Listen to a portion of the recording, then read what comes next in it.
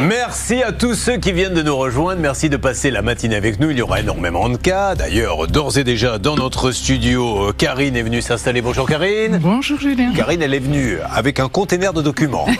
elle est venue avec des slides. Elle est venue avec quatre assistants qui vont envoyer des vidéos. Elle a un dossier qui est carré. C'est un dossier euh, de construction, je crois, hein, qui, qui s'est mal passé. Rénovation, ouais. Euh, qui est avec nous également Nous avons Marlène et euh, qui est avec son compagnon qui s'appelle Fabio. Ça va Fabio? Ça va Julien et vous? Fabio qui va nous faire du Patrick Bruel, mesdames et messieurs, car c'est leur métier. Vous êtes sur scène bien souvent, Ah, vous moi. faites des spectacles. Non, mais vous, vous êtes un peu, euh, vous gérez la. résume, ouais. Voilà. Et lui, il chante. il fait- C'est super. Moi, j'ai vu des vidéos, c'est magnifique. Et il va nous faire quelques petites interprétations. Mais là. Vous allez voir que c'est pas du Bruel, ce qui est en train de se passer actuellement depuis quelque temps, puisque il y a un monsieur qui nous a appelé en disant j'ai acheté une voiture à 800 km de chez moi. Bon, j'ai bien senti en l'essayant que c'était pas terrible, terrible. Je l'ai quand même acheté parce que c'était à 800 km pour finalement m'apercevoir qu'il y avait 72 000 km qui avaient disparu du compteur. Nous avons appelé le professionnel. Pas content du tout d'ailleurs qu'on l'appelle, qui croyait que je lui criais dessus, mais en fait je parle fort, je ne crie pas, en disant euh, moi, y a, je veux bien récupérer la voiture, mais je veux voir l'état de la voiture pour établir un prix pour le rembourser et ce n'est qu'à ce moment-là que je le paierai. Nous, notre auditeur dit j'ai pas confiance. Déjà que j'ai acheté une voiture avec un compteur trafiqué, sachant que le professionnel nous a également dit au téléphone. Moi, cette voiture, je l'ai pas regardée. Il y a un type qui me l'a mis. Elle était cassée. Je l'ai revendue. Donc, il a avoué qu'elle était en mauvais état. C'est ce que j'ai compris. Ah ben Julien, euh, il récupère une voiture qui est cassée et que le propriétaire peut pas réparer. Il a dû donc lui racheter ça pas trop cher. Mais même si quand il la récupère, il sait pas, je veux bien le croire, que le compteur a été trafiqué, il a tout le temps de le vérifier avant de la revendre. Ce qui pas Essayons été de fait. prendre une grande inspiration, que la zénitude soit avec nous, car nous allons recommuter ce garagiste et j'ai peur que nous prenions tous une petite volée de bois vert. Hervé, euh, ce monsieur est toujours là?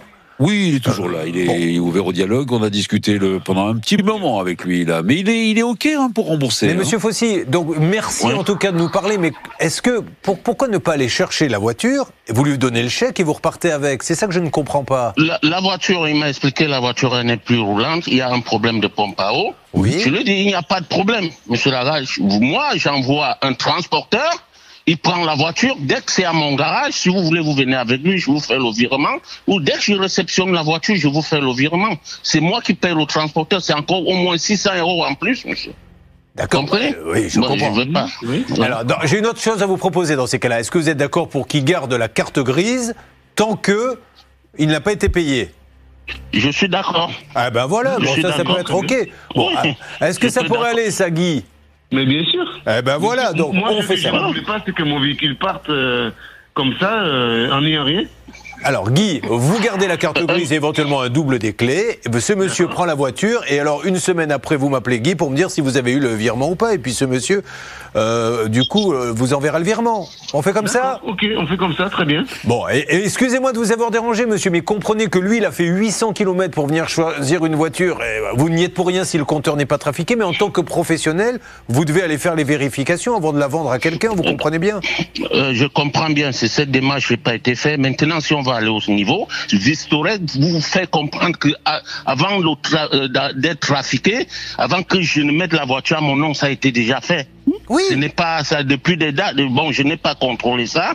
Voilà. Je n'ai pas eu. euh, bon, on n'est pas au niveau là, monsieur. Si monsieur il veut marcher comme j'ai dit, je suis souple jusqu'à présent. Je lui ai donné, j'ai engagé des frais. Il est venu sur Paris trois fois avec la voiture. Il a fait ses vacances dans tout le sud. Il m'appelait, ouais, je suis content jusqu'au moment où la pompe à eau le lâche. Il est arrivé sur Paris, je lui ai donné 1050 euros en espèces sur les frais. Il allait faire des freins, qu'au moment où il prenait le contrôle technique, lui-même, il a contrôlé, tout était OK. Les pneus et tout. J'ai compris que cette voiture, je n'avais pas roulé avec, j'ai pris dans mon garage. Il pouvait, il y avait un problème de paralysme. Ce qui fait que le- le- la distance qu'il a fait, les pneus se sont usés. J'ai compris, je me suis mis en place. J'ai dit, OK, si ça s'est usé, vous-même, j'ai mis des pneus neufs devant vous. On est allé au magasin, j'ai acheté. Ça s'est usé, je peux comprendre que c'est un problème de para. Il n'y a pas de problème. Engagez les frais, vous arrivez sur Paris, je vous rembourse. Ça marche. C'est ce qui a été Monsieur, fait. non mais encore une fois, tout ça, vous êtes, Oui. vous êtes de bonne foi. Je veux juste vous expliquer que moi, personnellement, si j'apprends que la voiture, elle a 72 000 kilomètres en fait de plus, je ne l'achète pas. C'est-à-dire que si vous achetez Monsieur, une je vous dis, je laissez-moi vous finir, dis, monsieur. si vous voulez vous baser sur le kilométrage, moi, monsieur Lagan, il va, il m'appelle, là, ce monsieur, je sens ici les problèmes, il m'appelle pour faire des, des, des trucs. Je lui ai fait toutes les propositions, il m'appelle pour me mettre devant les émissions. Maintenant. non, vous ne mettez pas devant les émissions, monsieur.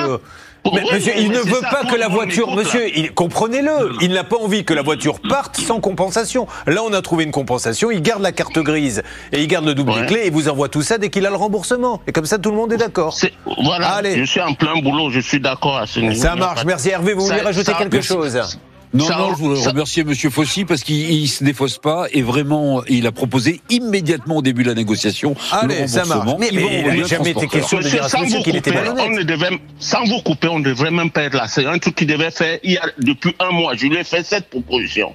D'accord, bah, il avait mal cette compris. là. proposition, il ne voulait pas. De- de Lui, il garder- voulait 9 000 euros. Oui, mais vous lui avez proposé qu'il garde la carte grise?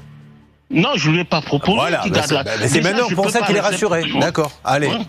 Ça marche, Allez. on fait ça. Guy, vous me tenez au courant, Oui. on s'appelle dans une dizaine de jours, je vous mets en contact avec lui pas, pour monsieur. que vous puissiez euh, négocier tous les deux le rapatriement de la voiture. Et merci encore à ce monsieur.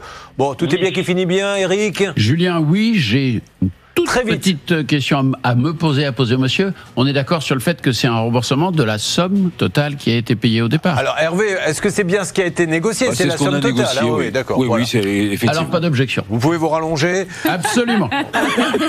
On vous réveille dès qu'il y a un nouveau cas qui C'est démarre. gentil, merci. Voyez.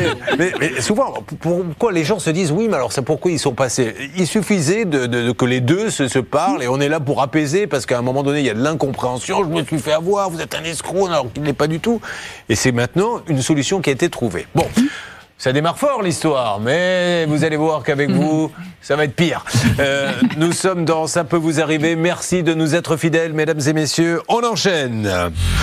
Vous suivez, ça peut vous arriver. Est-ce qu'une dame très nommée Delphine est avec nous? Bonjour. Bonjour Julien. Bonjour Delphine. Ah Delphine, c'est cette histoire de la poste. Aïe aïe aïe. Delphine, en deux mots. Alors déjà, rappelez-nous, vous nous appelez d'où Delphine? De Paris. Très bien. Qu'est-ce que vous faites dans la vie Delphine? Je suis responsable commercial. Et Delphine, si je me rappelle bien, elle veut récupérer son argent parce qu'on lui a dérobé sur son compte bancaire pas moins de 32 000 euros. Et les statistiques de l'émission, Charlotte, prouvent que quand il y a piratage, que c'est des sommes de 3, 4, 5 000, ça rembourse. Oui. Dès que ça dépasse les 10 000, les banques ne veulent pas rembourser. Alors on va vous expliquer ce qui lui est arrivé parce que ça peut arriver à n'importe qui. Il faut être absolument prudent.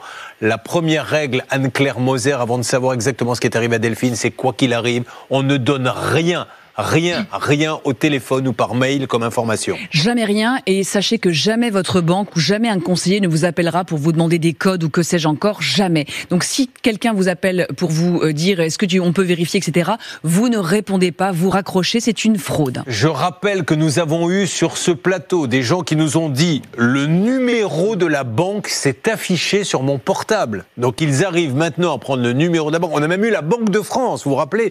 Bon, ceci étant dit, ça ne veut pas dire qu'elle a donné ses codes. Ça veut dire qu'aujourd'hui, les banques, si elles devaient rembourser tout le monde, ça leur coûterait une fortune, donc préfèrent dire, ben, euh, prouvez-nous, alors que c'est à elles de prouver.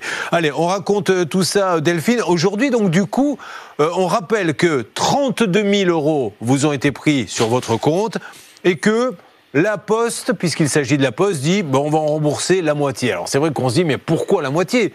Soit elle est fautive, on lui rembourse rien, soit elle n'a rien fait et on lui rembourse tout. C'est une histoire qui peut, encore une fois, qui fait peur à tout le monde, hein, parce qu'on se dit euh, se réveiller le matin avec de l'argent en moins. On en parle maintenant sur M6. RTL. Delphine, vous êtes donc avec nous. Racontez-nous ce qui s'est passé très exactement entre le 2 et le 11 mai 2022. Alors juste une petite précision en introduction, c'est pas à moi qu'on a pris l'argent, c'est à ma tante. D'accord Si vous vous rappelez, on était venu avec ma tante sur le plateau. Euh, en fait, euh, fin avril, elle a eu une notification de la banque postale pour lui dire qu'il y avait des fraudes sur sa carte bancaire et qu'ils envisageaient de lui changer sa carte bancaire, ce qu'ils ont fait. Et puis début mai, euh, il y a eu des mouvements de 4000 euros. Il y a eu 8000 euh, virements qui ont été opérés sur ses comptes. Euh, 8 virements, pardon, qui ont été opérés sur ces comptes de 4000 euros entre le 2 mai et le 11 mai. Ils partaient Voilà. où ces virements? On se rappelle? En Belgique, principalement. Bon, Est-ce que votre est-ce que votre tante est fortunée ou elle a une petite retraite? Comment ça se Elle a passe? une petite retraite de 300 euros par Non, mois. je, je dis ça C'est parce toutes que les économies d'une vie. Voilà, c'est toutes les économies d'une vie qui sont parties. Non, mais euh, je- la- ma question, c'est qu'on sait que la banque a aussi un devoir un petit peu de, de vigilance. Donc, vous avez quelqu'un, co- combien a-t-elle de retraite? Bah, M'avez-vous dit? 300 euros. Elle a, elle n'a que 300 euros de retraite? Mm. Elle n'a pas de complémentaire, elle a rien? Non, elle, bah, après il y a son mari, mais elle, Ah, elle a que d'accord. 300 euros Donc, sur son compte. Cette dame, elle a 300 euros qui arrivent sur son compte tous les mois. Donc, Mm. le banquier se doute bien que c'est des petites dépenses. Et là, tout d'un coup, il y a de l'argent qui part en Belgique et à aucun moment on lui dit, Madame, euh, qu'est-ce qui se passe? Et c'est d'autant plus curieux qu'il y a Tracfin, qui est cet organisme qui permet de voir les mouvements euh, qui sont suspects. Et là, on ne comprend pas comment la banque, sans faire de l'ingérence, parce que souvent on vous dit oui, mais bon, vous allez me taxer d'ingérente. Non, mais là, quand on a des si petites retraites, des si petits revenus, et quand on voit que la personne pioche dans ses économies, je pense que là, on peut dire il y a une alerte. Alors, nous avons appelé la banque et la banque euh, a fait venir le médiateur Charlotte. Le Oui. médiateur a convoqué tout le monde et aujourd'hui, le médiateur a rendu son verdict qu'il faut donner la moitié, c'est ça? C'est ça, c'est même en fait la tante de Delphine qui a pris l'initiative de demander au médiateur de rendre un avis. Et effectivement, le médiateur a estimé que le tort était partagé et qu'il fallait rembourser la moitié, ce que la Poste a fait. Alors, nous avons reçu un courrier, nous Ouais. les avons appelés, ils ont donné la moitié et malheureusement, j'ai peur qu'ils campent sur leur position. Alors, Ceci étant dit, ce n'est pas très grave, Delphine. Maître Moser, qui est avec nous, a récemment défendu un client à qui il est arrivé la même chose. La banque lui dit Vous avez dû donner votre code, il a dit non. Eh bien, tant pis, on vous rembourse pas. Et vous avez gagné en première instance et en appel. C'est ça, c'est un arrêt du 15 novembre 2022 de la Cour d'appel de Reims. Nous sommes toujours dans le délai du pourvoi en cassation, mais pour l'heure, il n'y en a pas. Et euh, la Cour d'appel est très claire, c'est à la banque de prouver que euh, le client aurait commis une faute. Et ce n'est pas parce qu'il y a eu des mouvements suspects euh, que on peut considérer qu'il est fautif. Car, juste, Delphine, est-ce qu'à un moment donné, la Poste amène une preuve formelle que votre tante a fait une bêtise, a donné son code, a envoyé un email en donnant des codes ou des choses comme ça? Non, on n'a pas d'éléments euh, dans ce sens. On n'a rien. Alors, on va vous envoyer d'ailleurs ce jugement, euh, ça servira certainement à, à votre avocat, parce qu'il y a une lettre de la Poste qui est arrivée. Qui va nous la lire? C'est moi, C'est pas la meilleure nouvelle de la journée, Je mais sais, bon, on va essayer de tous se concentrer. Bernard Sabat va tenter de lire maintenant une lettre, euh, mesdames et messieurs. Vous allez voir que nous avons tous notre lot de problèmes. Allez-y, Bernard. C'est la lettre de la cellule secrète de la Banque Postale. Bernard, le médiateur a rendu sa position auprès des parties, accompagné d'un formulaire de refus. Considérant que les torts étaient partagés, et à la demande de la Banque Postale, le remboursement de la moitié du préjudice. À date, le médiateur n'a pas été informé que l'une ou l'autre des parties ait refusé l'avis rendu. Ça, c'est plutôt bon signe, Julien. Ça veut dire qu'aujourd'hui, le médiateur n'a pas reçu la position euh, de notre ami euh, à l'antenne. Donc, ça veut dire que peut-être qu'il y a une ouverture. Et concernant le courrier reçu par la cliente le 26 avril, on lui a changé sa carte bancaire par précaution. Voilà la position de la cellule secrète de la Banque Postale. Donc, moi, j'ai le sentiment que tout n'est pas euh, fermé et conclu. Alors, moi, ce que j'aimerais, Charlotte, oui. Oui, ce que je comprends pas, c'est que la protection juridique de Martine, donc la tante Delphine, a envoyé un refus en fait euh, au médiateur et à la banque. Il dit de ne pas l'avoir reçu. Alors, eux, ils disent qu'ils ne l'ont pas reçu. Donc, c'est pour ça qu'il faut vraiment que nos amis de la Poste nous expliquent pourquoi la moitié. C'est-à-dire qu'elle a donné la, la moitié des codes, elle a fait un peu de bêtises ou pas beaucoup de bêtises. C'est tout ou rien si elle a donné les codes et qu'ils le peuvent et qu'ils le prouvent. En fait, elle n'a pas reçu les, les codes d'accès. En fait, elle était a priori victime d'un SIM swap. Les codes auraient été envoyés, enfin, son numéro de téléphone a été détourné. Ouais. Et les codes en sont arrivés chez les fraudeurs. Mais Ouais, ouais. elle, elle n'a pas reçu ces fameux textos avec les codes et tout ça. Parce que les banques, merci, n'y sont pour rien. Aujourd'hui, on veut tout informatiser. On ne veut plus de guichet. On vous dit faites tout de chez vous. Mais le problème, c'est que les hackers sont plus forts que tout. Ils entrent comme dans du gruyère dans toutes les banques. Et après, ben, on se retrouve avec des gens à rembourser. On ne les rembourse pas et on vous dit vous avez dû commettre une bêtise. Je le redis, si bêtise il y a, vous nous le prouvez. Vous prouvez qu'elle a vraiment donné ses codes. Ça, ils ne le peuvent pas. Bon, continuons là-dessus, mais il va falloir se battre, tout simplement prendre un avocat. Mais vous avez vraiment, vraiment du biscuit dans votre dossier. Voyons s'il y a un autre coup de fil qui peut être donné. Ça peut vous arriver, vous aider à vous protéger. Anne-Claire Moser, avocate, que voulez-vous rajouter Deux précisions importantes. Vous avez raison, il faut le marteler, il n'y a pas de présomption de euh, faute euh, de la part du client. Donc c'est vraiment à la banque de prouver.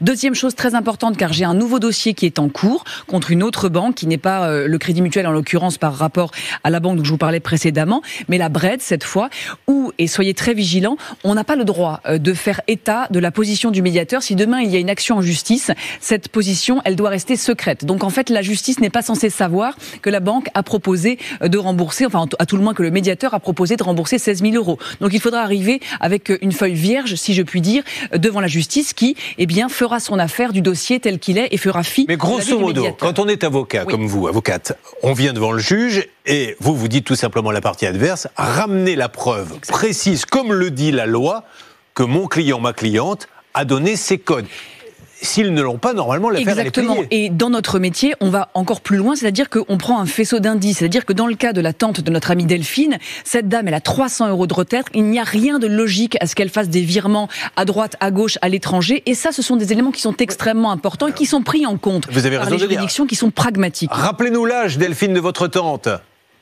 70 ans. 70 ans et elle n'a jamais fait de virement en Belgique de sa vie. Elle n'a jamais fait de virement du tout, je suppose. Non, non, non, c'était en plus, ils ont vidé son livret A, ils ont livré son PEL, enfin voilà, ils ont pris ses petites économiques, ils ont versé sur son compte courant et du compte courant, ils ont fait des autres virements. Donc tout d'un coup, elle se réveille un matin, elle a 300 euros qui tombent tous les mois sur son compte, donc elle n'a pas un centime, ça doit être des tout petits virements de d'électricité, etc. Et elle se met à... euh, Et ça n'inquiète personne, elle lui dit, vous avez dû donner vos codes. Non, je suis pas d'accord. Et d'ailleurs, le fait qu'il rembourse ne serait-ce que la moitié, c'est qu'ils doivent se dire, bon, trouvons une cote mal taillée pour éviter le tribunal, à mon Et avis. puis c'est hein. pas un petit remboursement qui est Ouais. proposé, c'est la moitié. Oui. Donc c'est dire qu'il y a tout de même une erreur qui, est- qui a été faite par la banque. Allez, on va voir maintenant, euh, peut-être euh, avec Hervé et Bernard, si on peut encore avancer sur M6.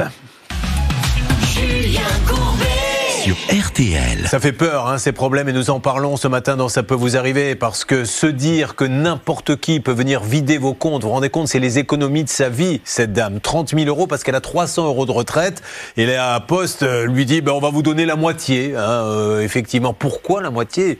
Tout ou rien. Soit elle a commis une erreur, on lui rembourse rien. Et puis, je doute fort que ça soit parce que vous êtes une bonne cliente, parce qu'à 300 euros par mois, je peux pas penser que ça va être la cliente la plus euh, fortunée de l'agence. Alors, qu'est-ce que vous en pensez, Delphine, de cette lettre de la Poste qui dit on reste sur la moitié? Moi, euh, si j'avais un conseil à vous donner, mais ça ne concerne que moi, hein, je, je- j'irai jusqu'au bout. Ça vaut vraiment le coup de prendre un avocat. Euh, Anne-Claire Oui. Moser euh, a, a gagné récemment. Et là, en plus, il y a un faisceau d'indices qui prouve que votre tante n'a pas pu faire elle-même des virements en, en Belgique. Donc, qu'est-ce que vous pensez faire? Bah, il va falloir que j'échange avec ma tante dans un premier temps. Prononcer à sa place, ça me paraît compliqué. Néanmoins, je pense qu'effectivement, il faut aller jusqu'au bout. Il y a quand même 16 000 euros en jeu. Enfin, C'est-à-dire Ouais. 16 000 euros, la moitié des économies de sa vie. voilà. Bon, alors, est-ce qu'on redonne un coup de fil, euh, Bernard, ou ça ne sert à rien à, à- à nos amis? Parce que vous disiez, il y a peut-être une petite ouverture. Je vais quand même rappeler donc Monsieur Gourrier pour voir justement dans cette proposition, la banque a suivi les recommandations du médiateur et versé à Madame Leblon la somme de 16 000 euros. Pourquoi la moitié? Donc je vais vérifier ça. Allez, ça marche. Euh, je vous tiens au courant en avance et puis préparez-vous. Et puis on va vous envoyer, si vous le voulez bien, le, le- le jugement également pour votre avocat qui a obtenu euh, très récemment. C'est avec le Crédit Mutuel, hein, je crois. Absolument. Euh, Anne-Claire Moser, merci beaucoup, à tout à l'heure. Merci beaucoup. Comment ça se passe sur le plateau ici? Vous observez, hein, on, on vous chauffe un petit peu, on a envie que vous euh, compreniez un petit peu les tenants et les aboutissants. Karine va nous parler de sa maison, c'est un, un chantier quoi, qui s'est arrêté. Tout à fait. Il, vient plus. Il vient plus. Mais qu'est-ce que vous lui avez dit pour qu'il vienne plus non plus? Euh, je ne sais pas, j'aimerais bien Parce que savoir. vous êtes très souriant, très sympa, je comprends pas pourquoi Ah ce oui. monsieur bloque. Tout à fait. Bah, il a été euh, très sympathique pendant les quatre premiers mois. Et après, ça s'est arrêté. Et après, ça s'est arrêté. Bon, alors Marie, euh, Fabio, vous êtes prêts? Je vous lance Et Ah, c'est vous qui continuez. Attention, 1, 2, 3. Le soleil va pas de moi, tu rêves depuis longtemps. Sur la télé, la neige envahit l'écran. Il est magnifique, Ah, hein, bah, elle fait mieux. Bah, là, il y avait Jean-Pierre Bruel et Patrick Bruel. Ah Moi, j'étais dans le rôle de Jean-Pierre Bruel. Et oui, c'est son métier. Et vous allez voir, les pauvres qui ont bossé, ils n'ont pas été payés. Ça- ceci étant dit, ça, ça arrive souvent dans le spectacle. Beaucoup maintenant réclament l'argent avant de démarrer parce que alors après, tu peux toujours euh, te courir. C'est un, un payé de combien? 3500 euros hors taxe. Bon, allez, on y va, on s'en occupe. Là, euh, si vous le voulez bien, comme notre druide, le grand spécialiste PV Radar est là, j'aimerais qu'il dise un petit mot à Sylvain.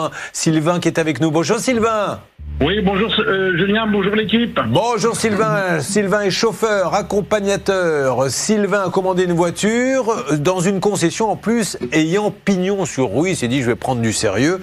Et alors ça fait un an et demi Charlotte qu'il n'a pas ce fichu papier. Je rappelle toujours voiture achetée à l'étranger. Les emmerdes vont commencer. C'est ce qui a dû se passer puisque quand la voiture doit passer la frontière, il doit y avoir ce qu'on appelle le quitus fiscal. C'est ça. Et lui, Il ne l'a pas et donc ça ne, ça lui, ça l'empêche de faire sa carte grise. Voilà, donc, euh, et pas de carte grise, maître de Comont, on rappelle qu'on peut avoir la plus belle voiture du monde si elle n'a pas de carte grise. Elle ne peut pas rouler et en droit, la vente n'est pas faite. Nous avions, alors il n'est pas le seul en plus, c'est ça qui nous inquiète un peu, Charlotte. Je crois qu'il y a une deuxième personne qui s'est déclarée depuis. Oui, exactement. Clément Montero, euh, qui est victime, tout comme euh, Sylvain, de la même situation. Eux non plus n'ont pas le quitus fiscal. Comme par hasard, c'est euh, exactement le même document qu'il manque. Alors Daniel est avec nous, Daniel est, est l'épouse de Sylvain. De, de Clément. Pardon? Non, qui est en ligne avec moi, s'il vous plaît, Stan? Oui, oui, c'est Le- L'épouse euh, de Clément, dont Charlotte vient de parler à l'instant, c'est une autre cliente du garage, Julien, qui a aussi un problème euh, avec son D'accord, ah, ben, c'est Sylvain qui est là alors avec nous, l'auditeur de base. L'auditeur de base, euh, en effet, c'est Sylvain. Et en ligne, nous avons aussi Daniel, la femme C'est ce qu'on va faire dorénavant des petites réunions le matin. Au lieu d'arriver trois minutes avant, on va se dire qu'à partir de demain, on arrive cinq minutes avant et ces deux minutes-là nous permettront de savoir un petit peu qui est avec nous. Alors, Sylvain, vous m'entendez? Oui, je suis avec vous là, il n'y a pas de souci. Et avec votre esprit. Sylvain, euh, avez-vous été remboursé depuis qu'on a appelé ce garage? Enfin, remboursé. Est-ce que vous avez eu le quitus? Non, non, il devait vendre une voiture pour, euh, pour me payer, mais il n'a pas vendu sa voiture. Pour vous payer C'est-à-dire parce que vous avez demandé le remboursement carrément de la voiture Ah oui, je, oui, oui, je lui avais donné une date butoir le, le 2 novembre. euh, Il n'a pas exécuté son, son, son, son, son- son acte, donc euh, moi je demande le remboursement maintenant. Mais, mais, euh, c'est juste, on va, on va détailler ça dans quelques instants, maître de Comont, mais ça veut dire qu'il a toujours pas le quitus fiscal, le monsieur. Ça veut dire que peut-être qu'il ne l'a même pas payé en Allemagne, donc il revend de l'autre côté. Seulement l'allemand est beaucoup plus malin, Malin. que le français, puisqu'il dit Moi je garde garde grise, donc je ne suis pas payé. Mais c'est comme ça que vous vous retrouvez couillonné. Vous voulez dire quelque chose? Oui, simplement, c'était effectivement ce qui était convenu quand euh, Sylvain était passé le 23 décembre. euh, le... Et il avait convenu une date butoir pour recevoir la carte grise. Comme elle n'a pas été reçue, le garage s'était engagé à le Ce qui, rembourser. est, ce qui est fou, c'est qu'ils ne lui disent pas, mais je vais l'avoir, mais bien sûr, votre quitus fiscal. Et il en est à dire, mais je vais vous la rembourser parce que je ne l'aurai jamais, et il ne rembourse pas. On va l'appeler, à mon avis, ça va faire des étincelles, et ensuite, le chantier, les chanteurs, tout sera là. Ça peut vous arriver depuis plus de 20 ans à votre service.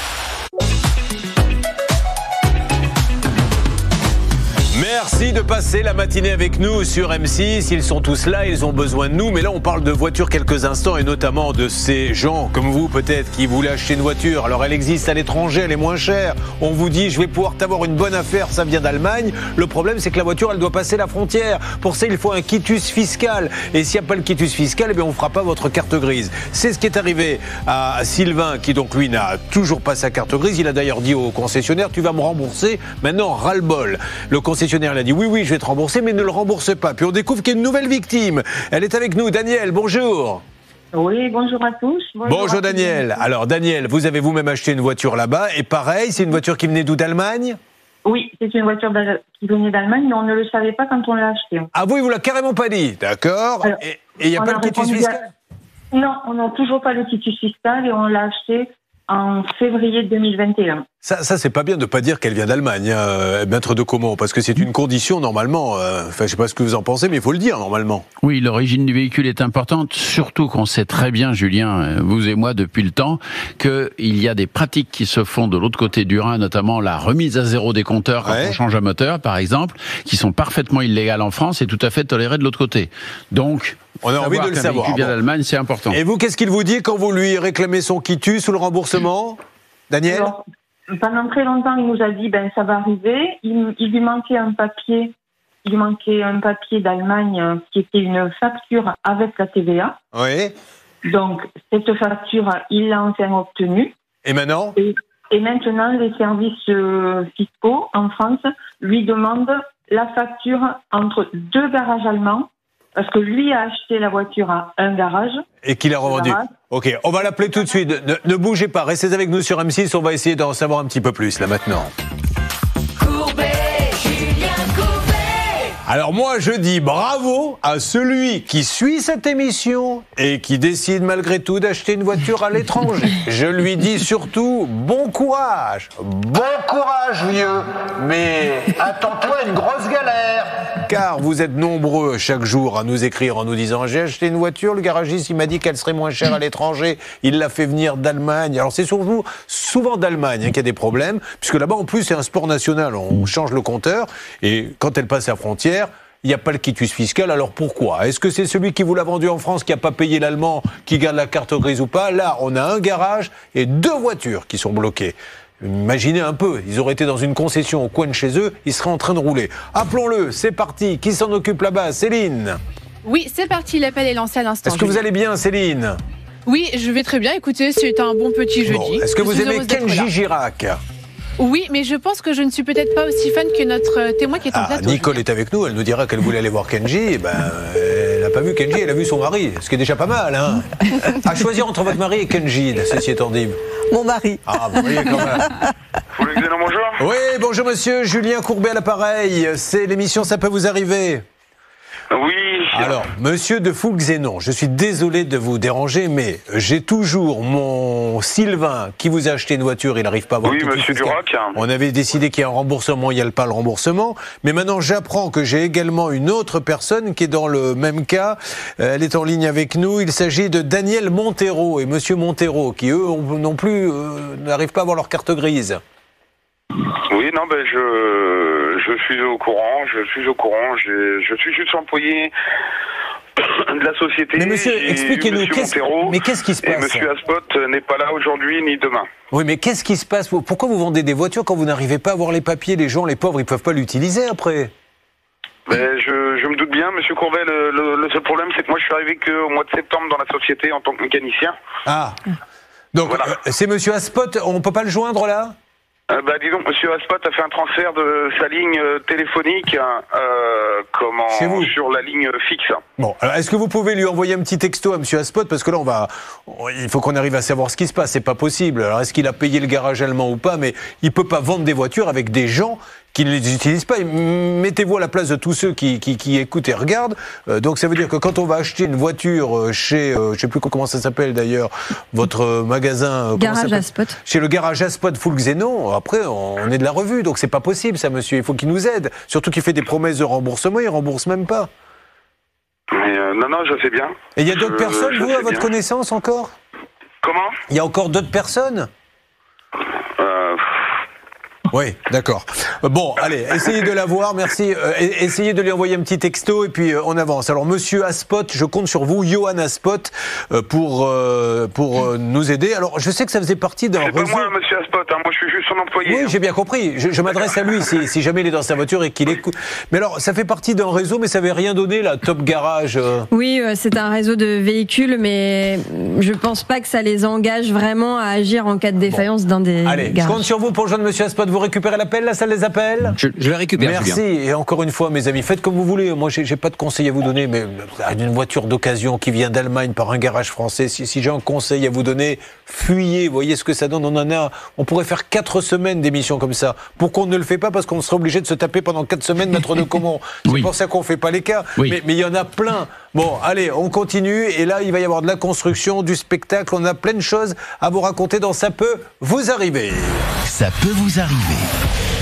Alors, mesdames et messieurs, dans quelques instants, ça y est, c'est le grand moment, nous allons revenir sur l'histoire des Gonzales. Est-ce que quelqu'un a entendu parler des Gonzales? Vous ne connaissez pas. Vous connaissez Patrick Bruel, mais pas les Gonzales. Non, pas les Gonzales. non. Eh bien, les Gonzales, ce sont des couvreurs que ceux qui suivent M6 connaissent bien, puisque ça fait maintenant, euh, je sais pas, un an à peu près qu'ils doivent venir finir la toiture. Euh, oui, facile. euh, Ça, ça a commencé en oui, février 2022, quasiment. Alors, on va réécouter toutes les excuses. L'histoire, elle est magnifique parce que c'est c'est les excuses, Hervé Pouchol. En 22 ans, je crois qu'on on n'a jamais eu ça. Donc, préparez-vous à faire le One Pouchol Show puisque vous allez nous rappeler toutes les excuses qui ont été données. Et puis surtout, on va voir s'il y a eu du nouveau puisqu'on s'est quitté avant l'été en se disant, bon, ben normalement, ça va arriver. À la rentrée, vous m'avez dit, ça va arriver. euh, Et on va voir si ça a bougé. Bon, Nicole, on parlera de Kenji alors? Vous l'adorez, Kenji?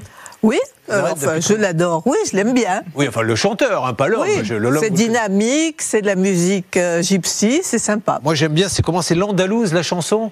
Quoi, Ma belle Andalouse, hein? Hein Ma belle Andalouse. On va réécouter tout ça. Vous la connaissez, vous, Hervé, ça, ma belle Andalouse? Euh, je- comme vous. Ah oui, très bien. Vous ne la connaissez pas. Andalou, nanani, nanana. Vous faites pas du Kenji sur scène, hein? Non, enfin, ça dépend dans quel spectacle, mais en général, non. Non, ça vous est arrivé déjà de Oui. faire du Kenji? Oui, bah oui. que- Lequel, euh, laquelle vous chantez de Kenji, du coup? Je sais pas laquelle je chante. Ça va lui faire plaisir s'il nous regarde, Kenji. Qu'est-ce qu'on- Il se tourne vers ça. Qu'est-ce qu'on chante de Kenji d'ailleurs Pour oublier, c'est vrai. Bon, allez, bah, lui s'est fait avoir, il chante du Bruel sur scène et le pauvre, il n'a pas été payé. Allez, on y va pour les Gonzales. Julien Courbet. RTL. Mesdames et messieurs, vous qui suivez, ça peut vous arriver. Générique Gonzales. Allez, c'est reparti. Petit Gonzales, oh c'est maman Tout démarre par un monsieur qui nous a appelé, qui est peut-être en ligne avec nous. Est-ce qu'il est là Oui. Alors, comment va-t-il Bonne année, mon Franck. Eh ben, bonne année à tout le monde. Bon, vous, on va pas vous souhaiter la santé, on va vous souhaiter la toiture, hein, parce que. La toiture et la finition. Oh la vache Alors pour ceux qui ne connaissent pas cette histoire, c'est un péplum. D'ailleurs, peut-être que des cinéastes auraient envie de mettre ça à l'écran, ils le pourraient. Ça démarre, euh, Charlotte, par, euh, je crois, un couvreur qui est chez les voisins. Oui. Et qui lui dit, ça c'est fort, j'étais sur le toit des voisins, et donc du coup j'ai pu voir le vôtre. Et je me suis aperçu qu'il y avait des travaux à faire. Et comme Franck envisageait justement de faire des travaux, il s'est dit tiens, bah pourquoi pas S'ils font ça chez ma voisine, autant qu'ils viennent en faire chez moi. Et donc, il passe un contrat avec eux. Est-ce qu'il y a eu un devis, Franck? Euh, oui, il y a eu un devis. Bon, alors le devis était de combien? Euh, 60 000 euros. Euh, Pas rien, hein Parce que c'est une grande toiture, le- en, en métrage, ça fait combien à peu près il y, a, y y la toiture de la maison qui est en tuile et il y a les toitures en tôle de, des, des dépendants. Alors, ils viennent un peu au début, on est bien d'accord Oui, oui, ils ont fait le, la toiture. euh, sans, les- sans finition, évidemment, mais euh, voilà, et donc euh, euh, ça a traîné parce qu'ils ont fait intervenir des, des entreprises extérieures qui ont mis du temps à venir. Et à partir du moment où ça a commencé à traîner, ça a été un petit peu catastrophique. Alors, ça a été catastrophique. Et écoutez bien, on les a appelés trois fois. Alors après, Hervé, vous, vous résumerez, mais, mais ce qui est fou, c'est ce qui nous est raconté. Alors, on a appelé une première fois, écoutons. Alors, S'il vous plaît, vous me laissez jusqu'à demain, que je viens demain, il fait beau. S'il vous plaît, monsieur. Demain, mesdames et messieurs. Voilà, il nous dit, on vient demain. Nous, on est super contents. On se dit, waouh, on est quand même super fort dans ça peut vous arriver. On faisait les gros bras. Euh, nous, on appelle les gens viennent demain et compagnie. Malheureusement, ils sont jamais venus. Alors, on a rappelé une deuxième fois. Franck, je l'ai vu, je l'ai vu. Là, je suis en route là, pour venir travailler, monsieur. Je l'ai vu ce matin, monsieur Franck. Vous allez chez lui, là? Là, je suis au matériel, monsieur. Là, je suis au matériel. J'arrive, je viens, monsieur Franck. Voilà. Alors, il n'est pas au maquillage, hein, il est au matériel, hein, c'est ça, mais parce qu'on avait compris, je suis au maquillage. Je me suis dit, si maintenant il se maquille pour venir faire des toitures, bon, attends, je vais aller louer un costume pour aller. Non, bon. Donc là, vous, vous êtes d'accord qu'on est super confiant On se dit, il est en route. Il peut pas nous mentir et nous faire croire qu'il est en route. Et alors, en fait, il est en route, mais il n'est jamais arrivé. Donc, on l'a rappelé une nouvelle fois. Bah, aujourd'hui, en principe, aujourd'hui, on a acheté tout le matériel, ça fait une semaine. Oui. Comme le gars, il était tombé malade. En Ah. principe, aujourd'hui, il passe, il m'a dit. Il, il va m'appeler dans une heure pour passer finir. Allez, je l'appelle tout de suite, le coureur. Les délais sont de plus en plus raccourcis. Maintenant, c'est dans une heure qu'il passe. Alors, après, il n'est toujours pas venu, évidemment. Et donc, Hervé, c'est là où on a eu des, des excuses qui sont euh, assez cocasses. Alors, on va commencer par l'adresse qu'ils n'ont pas retrouvée, c'est ça? Bah, C'est-à-dire que les couvreurs, on leur donne une adresse, mais ils la trouvent pas. Qu'est-ce qu'ils font? Ils vont acheter des cigarettes. Hein, parce qu'ils laissent passer un petit peu de temps. Et puis après, ils se mettent sur messagerie. Alors, attendez, attendez, parce, que là, les cigarettes, les gens ne savent pas de ça. quoi vous parlez. C'est-à-dire qu'en fait, Ah bah. ils sont venus, ils ont été acheter des cigarettes, et figurez-vous que quand ils sont revenus des cigarettes, ils n'ont pas retrouvé la maison. C'est quand même fort. C'est-à-dire qu'on commence des Ouais, travaux chez vous, et tout d'un coup on dit tiens, j'ai besoin de clopes, bien on va en acheter. Vous allez acheter les cigarettes, et après on dit mais on est. Mais, mais, mais non, mais, mais elle est où la maison On était, et ils sont jamais plus revenus. Alors ensuite, qu'est-ce qu'il y a eu Hervé? Bah, ensuite, euh, Moïse les attendait à la gare, mais ils sont venus en voiture. Donc forcément, ils se sont jamais croisés et ils sont jamais Alors venus. Moïse, c'est celui Donc, qui euh, fait les travaux. c'est Alors il attendait ses ouvriers. Les ouvriers ont dit on vient à la gare. Donc Moïse est allé, le, le- le- le patron des, des ouvriers, à la gare. Il a attendu sur le quai, mais il a attendu super longtemps. Et il pouvait toujours les attendre parce qu'ils ne sont pas venus en train en fait. Ils sont venus en voiture. Qu'est-ce qu'on a eu d'autre? Bon, après, ils se sont trompés d'adresse. Après, le matériel n'était pas arrivé. Ensuite, ils me disaient, mais de toute façon, ne vous inquiétez pas. Je suis un homme de parole. Je serai là demain. Bon, moi, quand on me dit ça, forcément, et le lendemain, il y avait toujours personne. Trêve de plaisanterie, c'est toujours pas terminé. Ils ne sont toujours pas revenus, euh, Franck Oh ben, ils sont revenus, donc, euh, suite à la dernière intervention, ils sont revenus au mois d'octobre. euh, par deux fois. Ils ont- il a envoyé des, des, des gens qui ne connaissaient pas du tout le chantier, donc qui ont posé des gouttières. Une fois, qui ont posé du placo, il se trouve que tout n'est rien n'est fini en fin de compte. Bon, mais aujourd'hui, est-ce qu'il y, a- plus de nouvelles depuis octobre? Et là, depuis le mois d'octobre, j'ai plus de nouvelles. Il est Bon. parti, soi-disant, à l'hôpital euh, jusqu'au mois de décembre, là, mais il ne me répond même plus au téléphone. On va essayer d'appeler, mais apparemment, ça répond même plus. Donc Hervé, euh, préparez le numéro. C'est une catastrophique ce dossier. De toute façon, là, il va falloir à un moment donné le conclure. Je pense qu'il va falloir. Vous allez nous donner un conseil dans, dans quelques instants, euh, Anne-Claire Moser. Il va falloir que euh, qu'il passe devant euh, la case tribunal parce que là, on se moque quand même un petit peu de lui. hein. Euh, bon, le moral est bon quand même, Franck?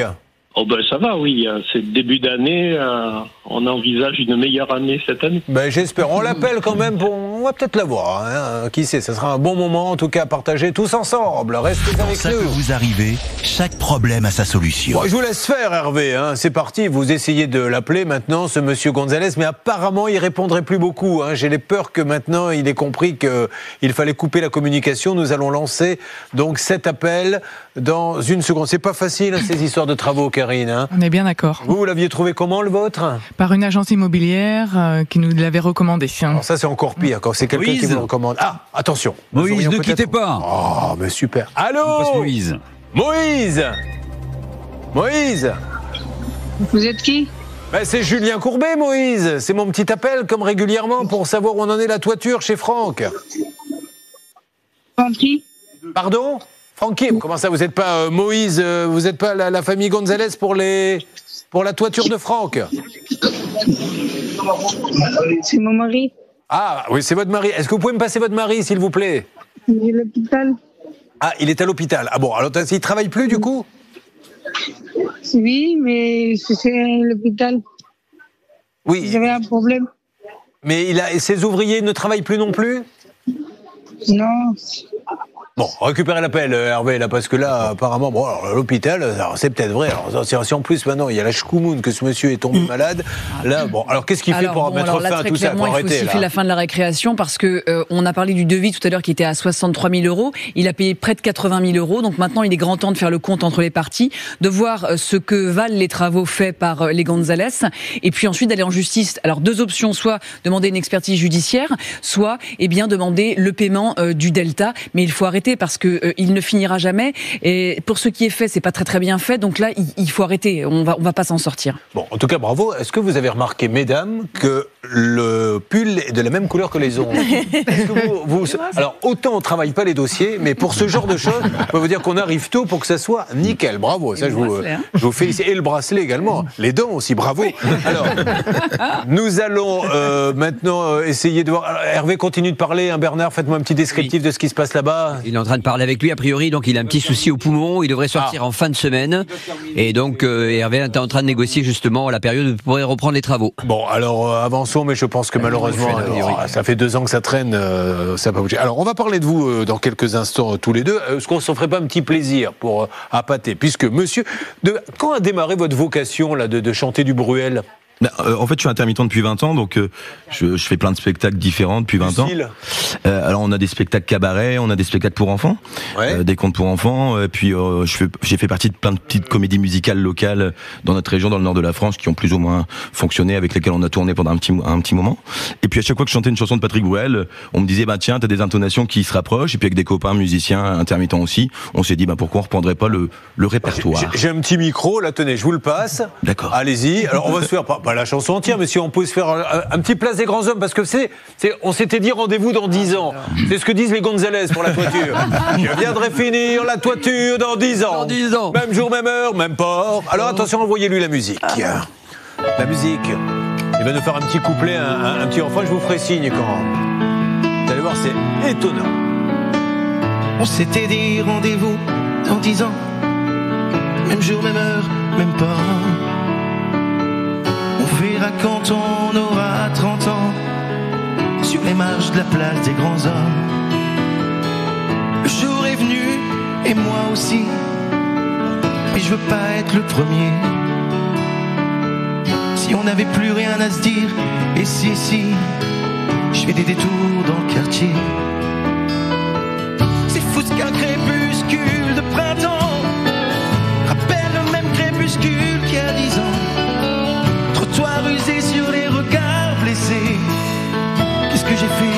années J'ai pas nagé tranquille sur l'eau. J'ai pas marché le vent dans le dos. Dernière ligne droite, la rue soufflot. Combien seront là? 4, 3, 2, 1, 0. On s'était dit rendez-vous dans 10 ans. Même jour, même heure, même port. On verra quand on aura 30 ans. Sur les marches de la place des grands hommes.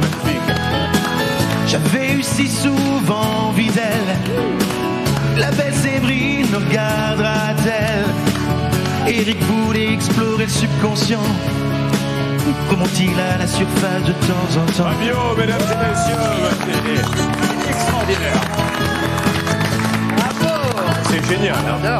Franchement, elle regrette. Nicole regrette d'avoir acheté des places pour Kenji Girac. Ah oui, il faut venir nous voir, nous. Ça, il chante bien. Hein Vous imaginez Alors, il fait des spectacles comme ça. Alors, c'est des spectacles où il y a que du bruel ou il peut y avoir euh, plein d'autres choses? Alors là, dans ce concept-là, c'est un peu un hommage où on rend, euh, voilà, où on reprend toutes les chansons de Ah bah, C'est un Patrick. bel hommage. Hein euh, avec euh, avec toutes ces chansons. Ben, et puis après on a d'autres spectacles comme je vous l'ai dit. Alors après, par contre, j'ai pas été payé depuis 10 ans. C'est là où ça va se gâter un peu. Là, nous ouais. intervenons. C'est pas une émission de variété. On est quand même là pour les aider et nous allons en parler sur M6. Julien Courbet. RTL. L'affaire Gonzalez nous fait beaucoup de peine, mais je crois que, comme l'a dit Maître Moser, avocate au barreau de Reims, membre d'un centre de gestion agréé, donc habilité à accepter des chèques, euh, la récréation est terminée. Il va falloir maintenant qu'il tape et qu'il tape fort. Donc Hervé, vous avez eu son épouse qui confirmerait que ce monsieur est à l'hôpital, mais Oui. euh, bon là, il va revenir quand, on ne sait pas. Ah si, ah. si, si, si, si, si, si. J'ai eu des nouvelles, il avait un petit problème au poumon et il sort vendredi. Et elle m'a promis une chose, dès qu'il sort vendredi, il rappelle Franck et normalement lundi, il revient chez Franck pour terminer la Bon, toiture. allez, Voilà. espérons que Franck aura suffisamment de patience, mais j'ai peur qu'il n'en ait pas. Et puis non, moi je crois que c'est enfin, c'est c'est bien s'il revient, mais ce serait bien que ce soit encadré par exemple par un expert judiciaire qui pourra lui donner la ligne euh, à suivre et, et qui sait lui apprendre peut-être les règles de l'art. Et Nous allons maintenant donner la parole à Karine qui est avec nous. Alors Karine, oh, elle n'est pas venue de très très loin de Fontainebleau. Tout à fait. C'est ça? Qu'est-ce qui se passe à Fontainebleau, Céline? L'équipe de la médiathèque propose plusieurs ateliers dans les prochains jours, notamment demain matin. Ce sera donc un atelier ordinateur, téléphone portable. Si vous avez des questions pour euh, des achats sur Internet ou pour créer votre boîte mail, il faut donc aller là-bas. Mardi prochain, le 10 janvier, ce sera une conversation en anglais pour progresser. Ouais. Ça, c'est pour notre ami Bernard Sabat. Et puis le 11, ce sera des comptines pour enfants, peut-être pour nous. Bernard Sabat qui avait appelé un magasin et comme il se rappelait plus comment on disait magasin en anglais, euh, pendant l'émission en direct, il avait dit Allô, vous êtes bien monsieur from the boutique? C'est comme ça. Euh, Karine, que faites-vous dans la vie? Je vois que vous êtes chargée de relations entreprises dans un centre de formation. Alors expliquez-nous un petit peu votre métier. Alors, j'accompagne des personnes en reconversion professionnelle, principalement des personnes reconnues travailleurs handicapés. Donc, moi, mon métier, c'est de les mettre en relation avec les entreprises du territoire et les partenaires. Et elle a des jumelles. Tout à fait. De 17 ans, comment s'appelle-t-elle? Eve et Liv. Alors c'est des vraies vraies jumelles? Non, ce ne sont pas des vraies jumelles. Il y en a une qui fait 1m30, l'autre 2m40, une qui est blanche, l'autre qui est noire, une qui est frisée, l'autre qui a les cheveux raides. Voilà, on a décidé de bien les différencier. Alors qu'est-ce qu'elles font toutes les deux? Elles sont en terminale. Terminale? Elles font- elles sont dans la même classe? Oui. Vous faites partie des parents qui ont voulu les séparer? Oui, tout à fait. C'est mieux?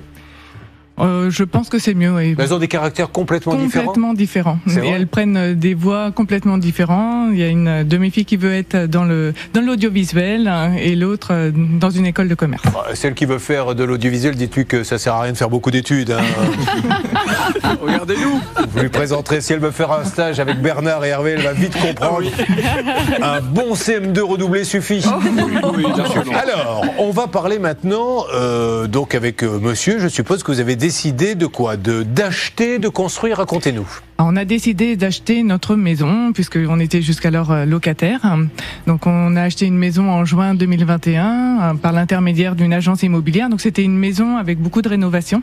Donc on s'est fait accompagner par l'agence immobilière pour trouver l'artisan. On, quand on a choisi, Il y avait vraiment tout à refaire? Oui, on avait pris le parti. La, la maison était habitée, mais on avait pris le parti de tout refaire. euh, D'accord. De voilà de. Donc vous trouvez une entreprise, il y a un devis de combien? 182 800 euros. enfin, Pour la rénovation.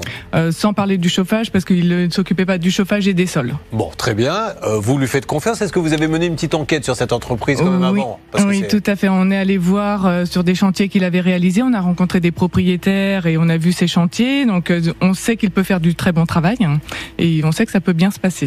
Euh, Ça, ça, c'est intéressant hein, d'aller voir d'autres chantiers. Malheureusement, vous voyez que ça suffit pas. Vous avez deux, trois petites choses à nous dire, Charlotte, sur la société? Bah, effectivement, Karine a bien mené son enquête en, allant voir, en allant voir sur place et même au niveau des informations qu'on trouve euh, sur Internet, tout a l'air à, à peu près sérieux. Et c'est vrai que c'est un de ces dossiers dans lesquels on ne comprend pas pourquoi il y a eu un tel abandon de chantier parce que rien ne le justifie.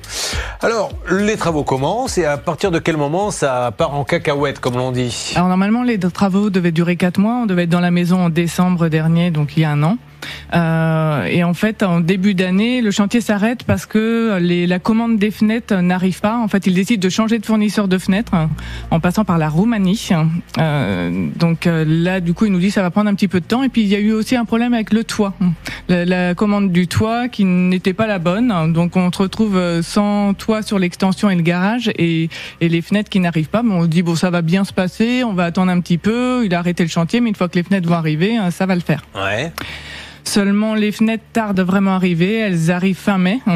Et entre-temps, il a commencé à nous demander de l'argent, sachant que nous, on lui avait dans le contrat, il était stipulé qu'on devait lui donner 30% au départ, C'est bien. 40% deux mois après.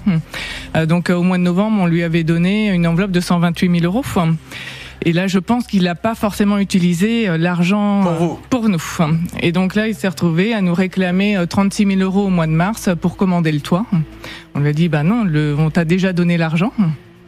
Et puis euh, les fenêtres sont arrivées fin mai.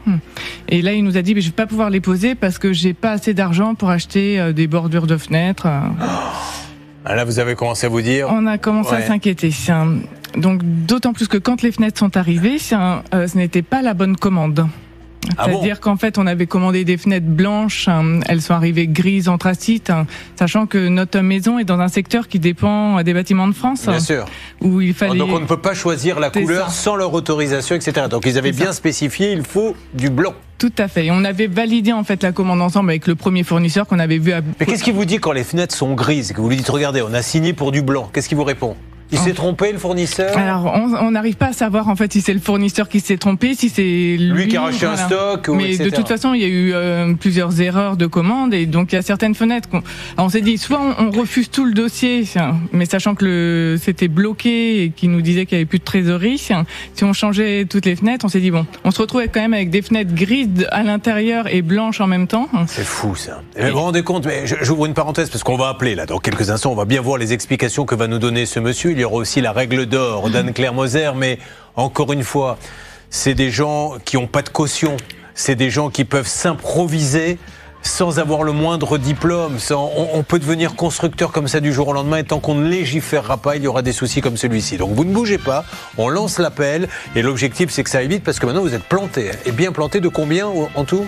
À peu près 60 000 euros. oui. voilà, on, on y va, ça se passe dans une seconde. Après, on attaquera tous nos cas. euh, Patrick Bruel, Kenji Girac, le Lido, Paris est une blonde. Ne bougez pas. Ça peut vous arriver revient dans un instant.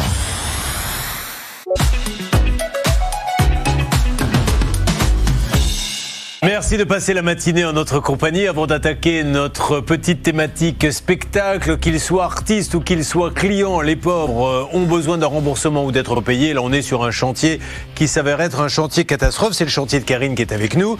Karine qui nous a expliqué donc qu'elle a acheté de l'ancien, qu'elle a voulu rénover. L'agence immobilière lui a dit, d'ailleurs, il faut jamais faire confiance dans ces cas-là. Je connais quelqu'un qui fait du boulot, mais elle a quand même été vérifier le travail de ce monsieur qui était plutôt bien chez d'autres clients. Quant à elle, il y a eu des problèmes puisque ce monsieur aujourd'hui, on peut le dire, a abandonné le chantier, réclame de plus en plus d'argent. D'autres euh, peut-être renseignements avec vous, Charlotte Oui, quand je vous ai dit qu'il n'y avait rien de particulier sur cette entreprise, je vous ai dit un peu une grosse bêtise en fait. Alors, quand je vous ai dit que vous aviez un CDI, je vous ai également dit une énorme Ah oui, bêtise. normal. On remarque que, que cet entrepreneur, tout de même, euh, a eu par A le fait passé- 20 ans de prison. non, quand même pas, quand même pas. Mais euh, tout de même, il, il a dirigé deux entreprises qui Ah. ont été mises en liquidation judiciaire auparavant. Une première qui a été euh, fermée en 2019, une deuxième qui a été fermée un peu plus euh, récemment en 2022 et c'est là que ça nous inquiète parce que finalement on se rend compte que l'entreprise qu'il a créée et avec laquelle il a signé avec Karine euh, a été créée elle qu'en 2021 comme si finalement il avait attendu que les deux autres euh, soient bien fermées pour en monter une troisième, ce qui n'est pas rassurant Et, et pour le c'est dossier. facile à vérifier. Ça, Oui. vous allez sur les sites. Alors, il y a société.com, il y a quoi d'autre euh, Oui, il y a même un, un site qui a été fait par le gouvernement qui est donc, euh, on peut se dire très fiable et complètement gratuit, c'est important, et ça s'appelle annuaire-entreprise.gouv.fr.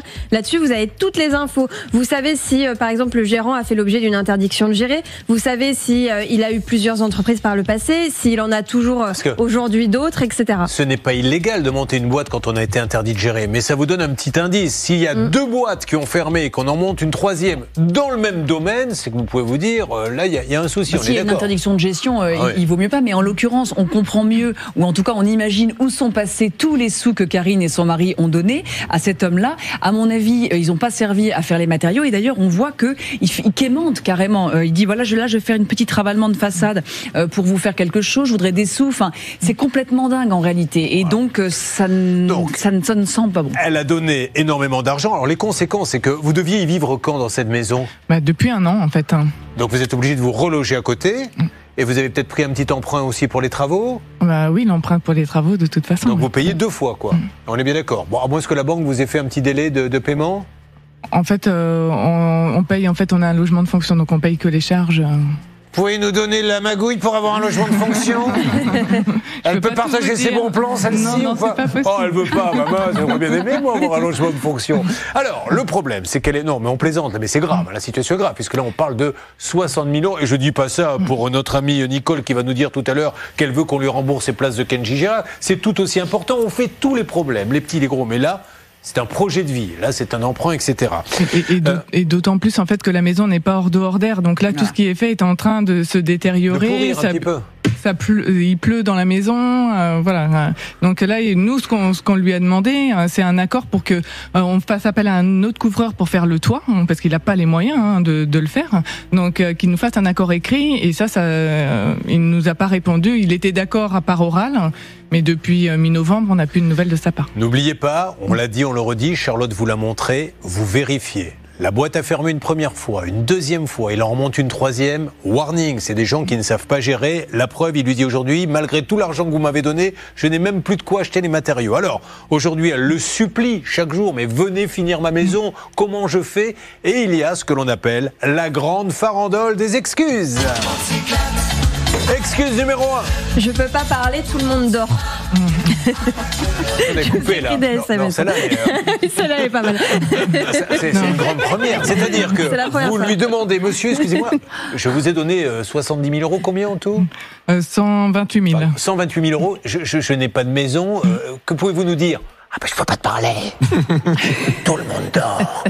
Bon, on reprend, elle est extraordinaire celle-là. Oui, euh, c'est pas tout, hein, c'est pas tout. Alors la deuxième est plus classique, je suis positif au Covid. Bon, d'accord. Troisième, j'ai besoin de sous pour avancer. On a les sous, on avance vite. On n'a pas, on avance mollo. Ah non, mais, euh, c'est une vraie qu'on rit, mais c'est tellement cocasse, mais c'est dramatique d'entendre ça. Vous vous rendez compte un peu le sérieux? Ouais, et puis même les fenêtres qui manquaient, il nous a dit je vais les chercher en Roumanie. Dans trois jours, elles sont là. Ouais. Ça fait. Bon, on J'en ai continue. encore deux. C'est parti. Alors la quatrième est plus grave. Il écrit J'ai pris un petit ravalement de façade, comme ça, avec les sous que je vais prendre, je vais pouvoir avancer votre maison.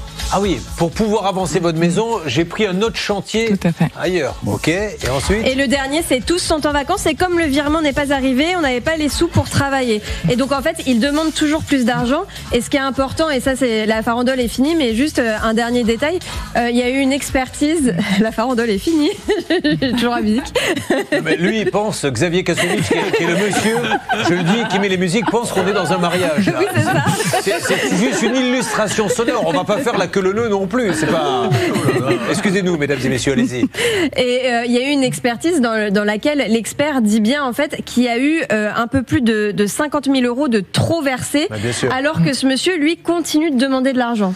Alors, euh, quelque chose à dire Mais sur je tout ça voulais exactement rebondir sur ce qu'a dit Charlotte, puisque cette expertise, je l'ai sous les yeux. Vous avez versé euh, plus de 120 000 euros et l'expert indique qu'il y a environ pour 59 000 euros de.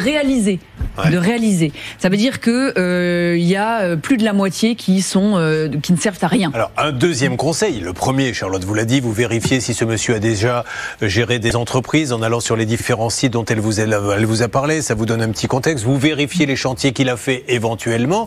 Mais trois, vous avez, dès que vous avez des sommes qui dépassent 50, 60 000 euros, vous appelez un ingénieur comme notre Sylvain Baron qui fait partie de l'équipe. Mais il y en a bien d'autres puisqu'il ne peut pas faire tout le monde évidemment.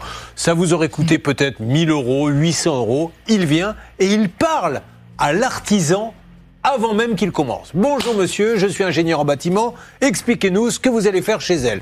Ben, je vais mettre ça. Quels sont les matériaux? Qui est le fournisseur? Ah bon, vous mettez ça? Non, monsieur. 30% suffit. Non, il faut pas 20 mètres carrés, il en faut que 10. Et au moins, il sait, et très vite d'ailleurs, c'est ce que me- m'expliquait Sylvain, que bien des fois, il dit à ses clients, on arrête tout de suite avec ce monsieur. Donc, effectivement, vous avez perdu peut-être les 800 ou 700 euros que vous lui avez donnés, mais vous en avez gagné près de 100 000 à l'arrivée. Bon, euh, on va se préparer, salle des appels. On a tous les numéros. hein. Céline, dans quelques instants, nous allons appeler ce monsieur. Voyons comment ça va se passer. Il me tarde de savoir quelles sont les explications qu'il va nous donner dans Ça peut vous arriver. Vous suivez, ça peut vous arriver. Vous savez ce qu'on va faire? C'est une grande première. On va voir votre chantier. Prenez le micro, euh, Fabio, et vous allez me chanter. Alors regarde, regarde un peu, d'accord? Parce que voilà ce qui va se passer, mesdames et messieurs. Voilà, Fabio.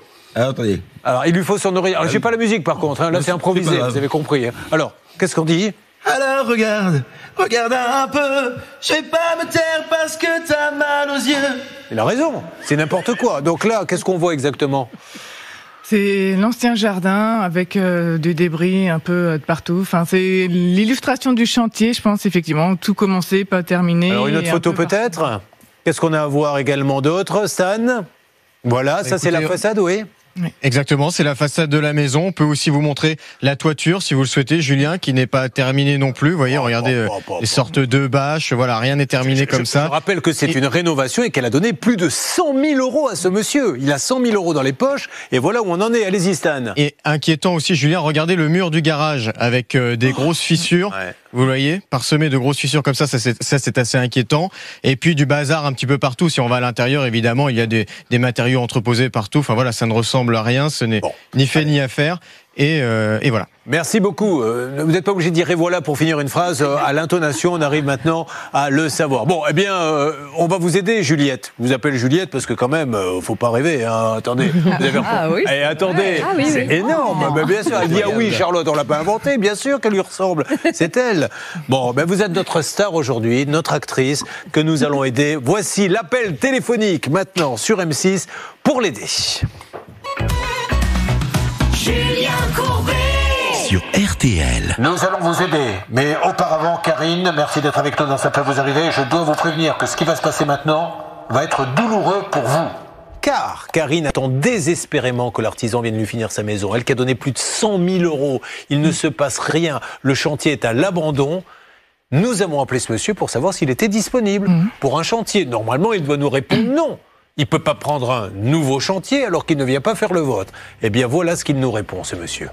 Oui, je vous appelais bonjour parce que euh, j'ai des travaux à réaliser euh, chez moi, euh, une rénovation de, de maison. Je voulais savoir si euh, vous seriez euh, intéressé pour faire un devis et puis peut-être pour faire les travaux derrière, si on est d'accord. Euh, oui, bien sûr, bien sûr.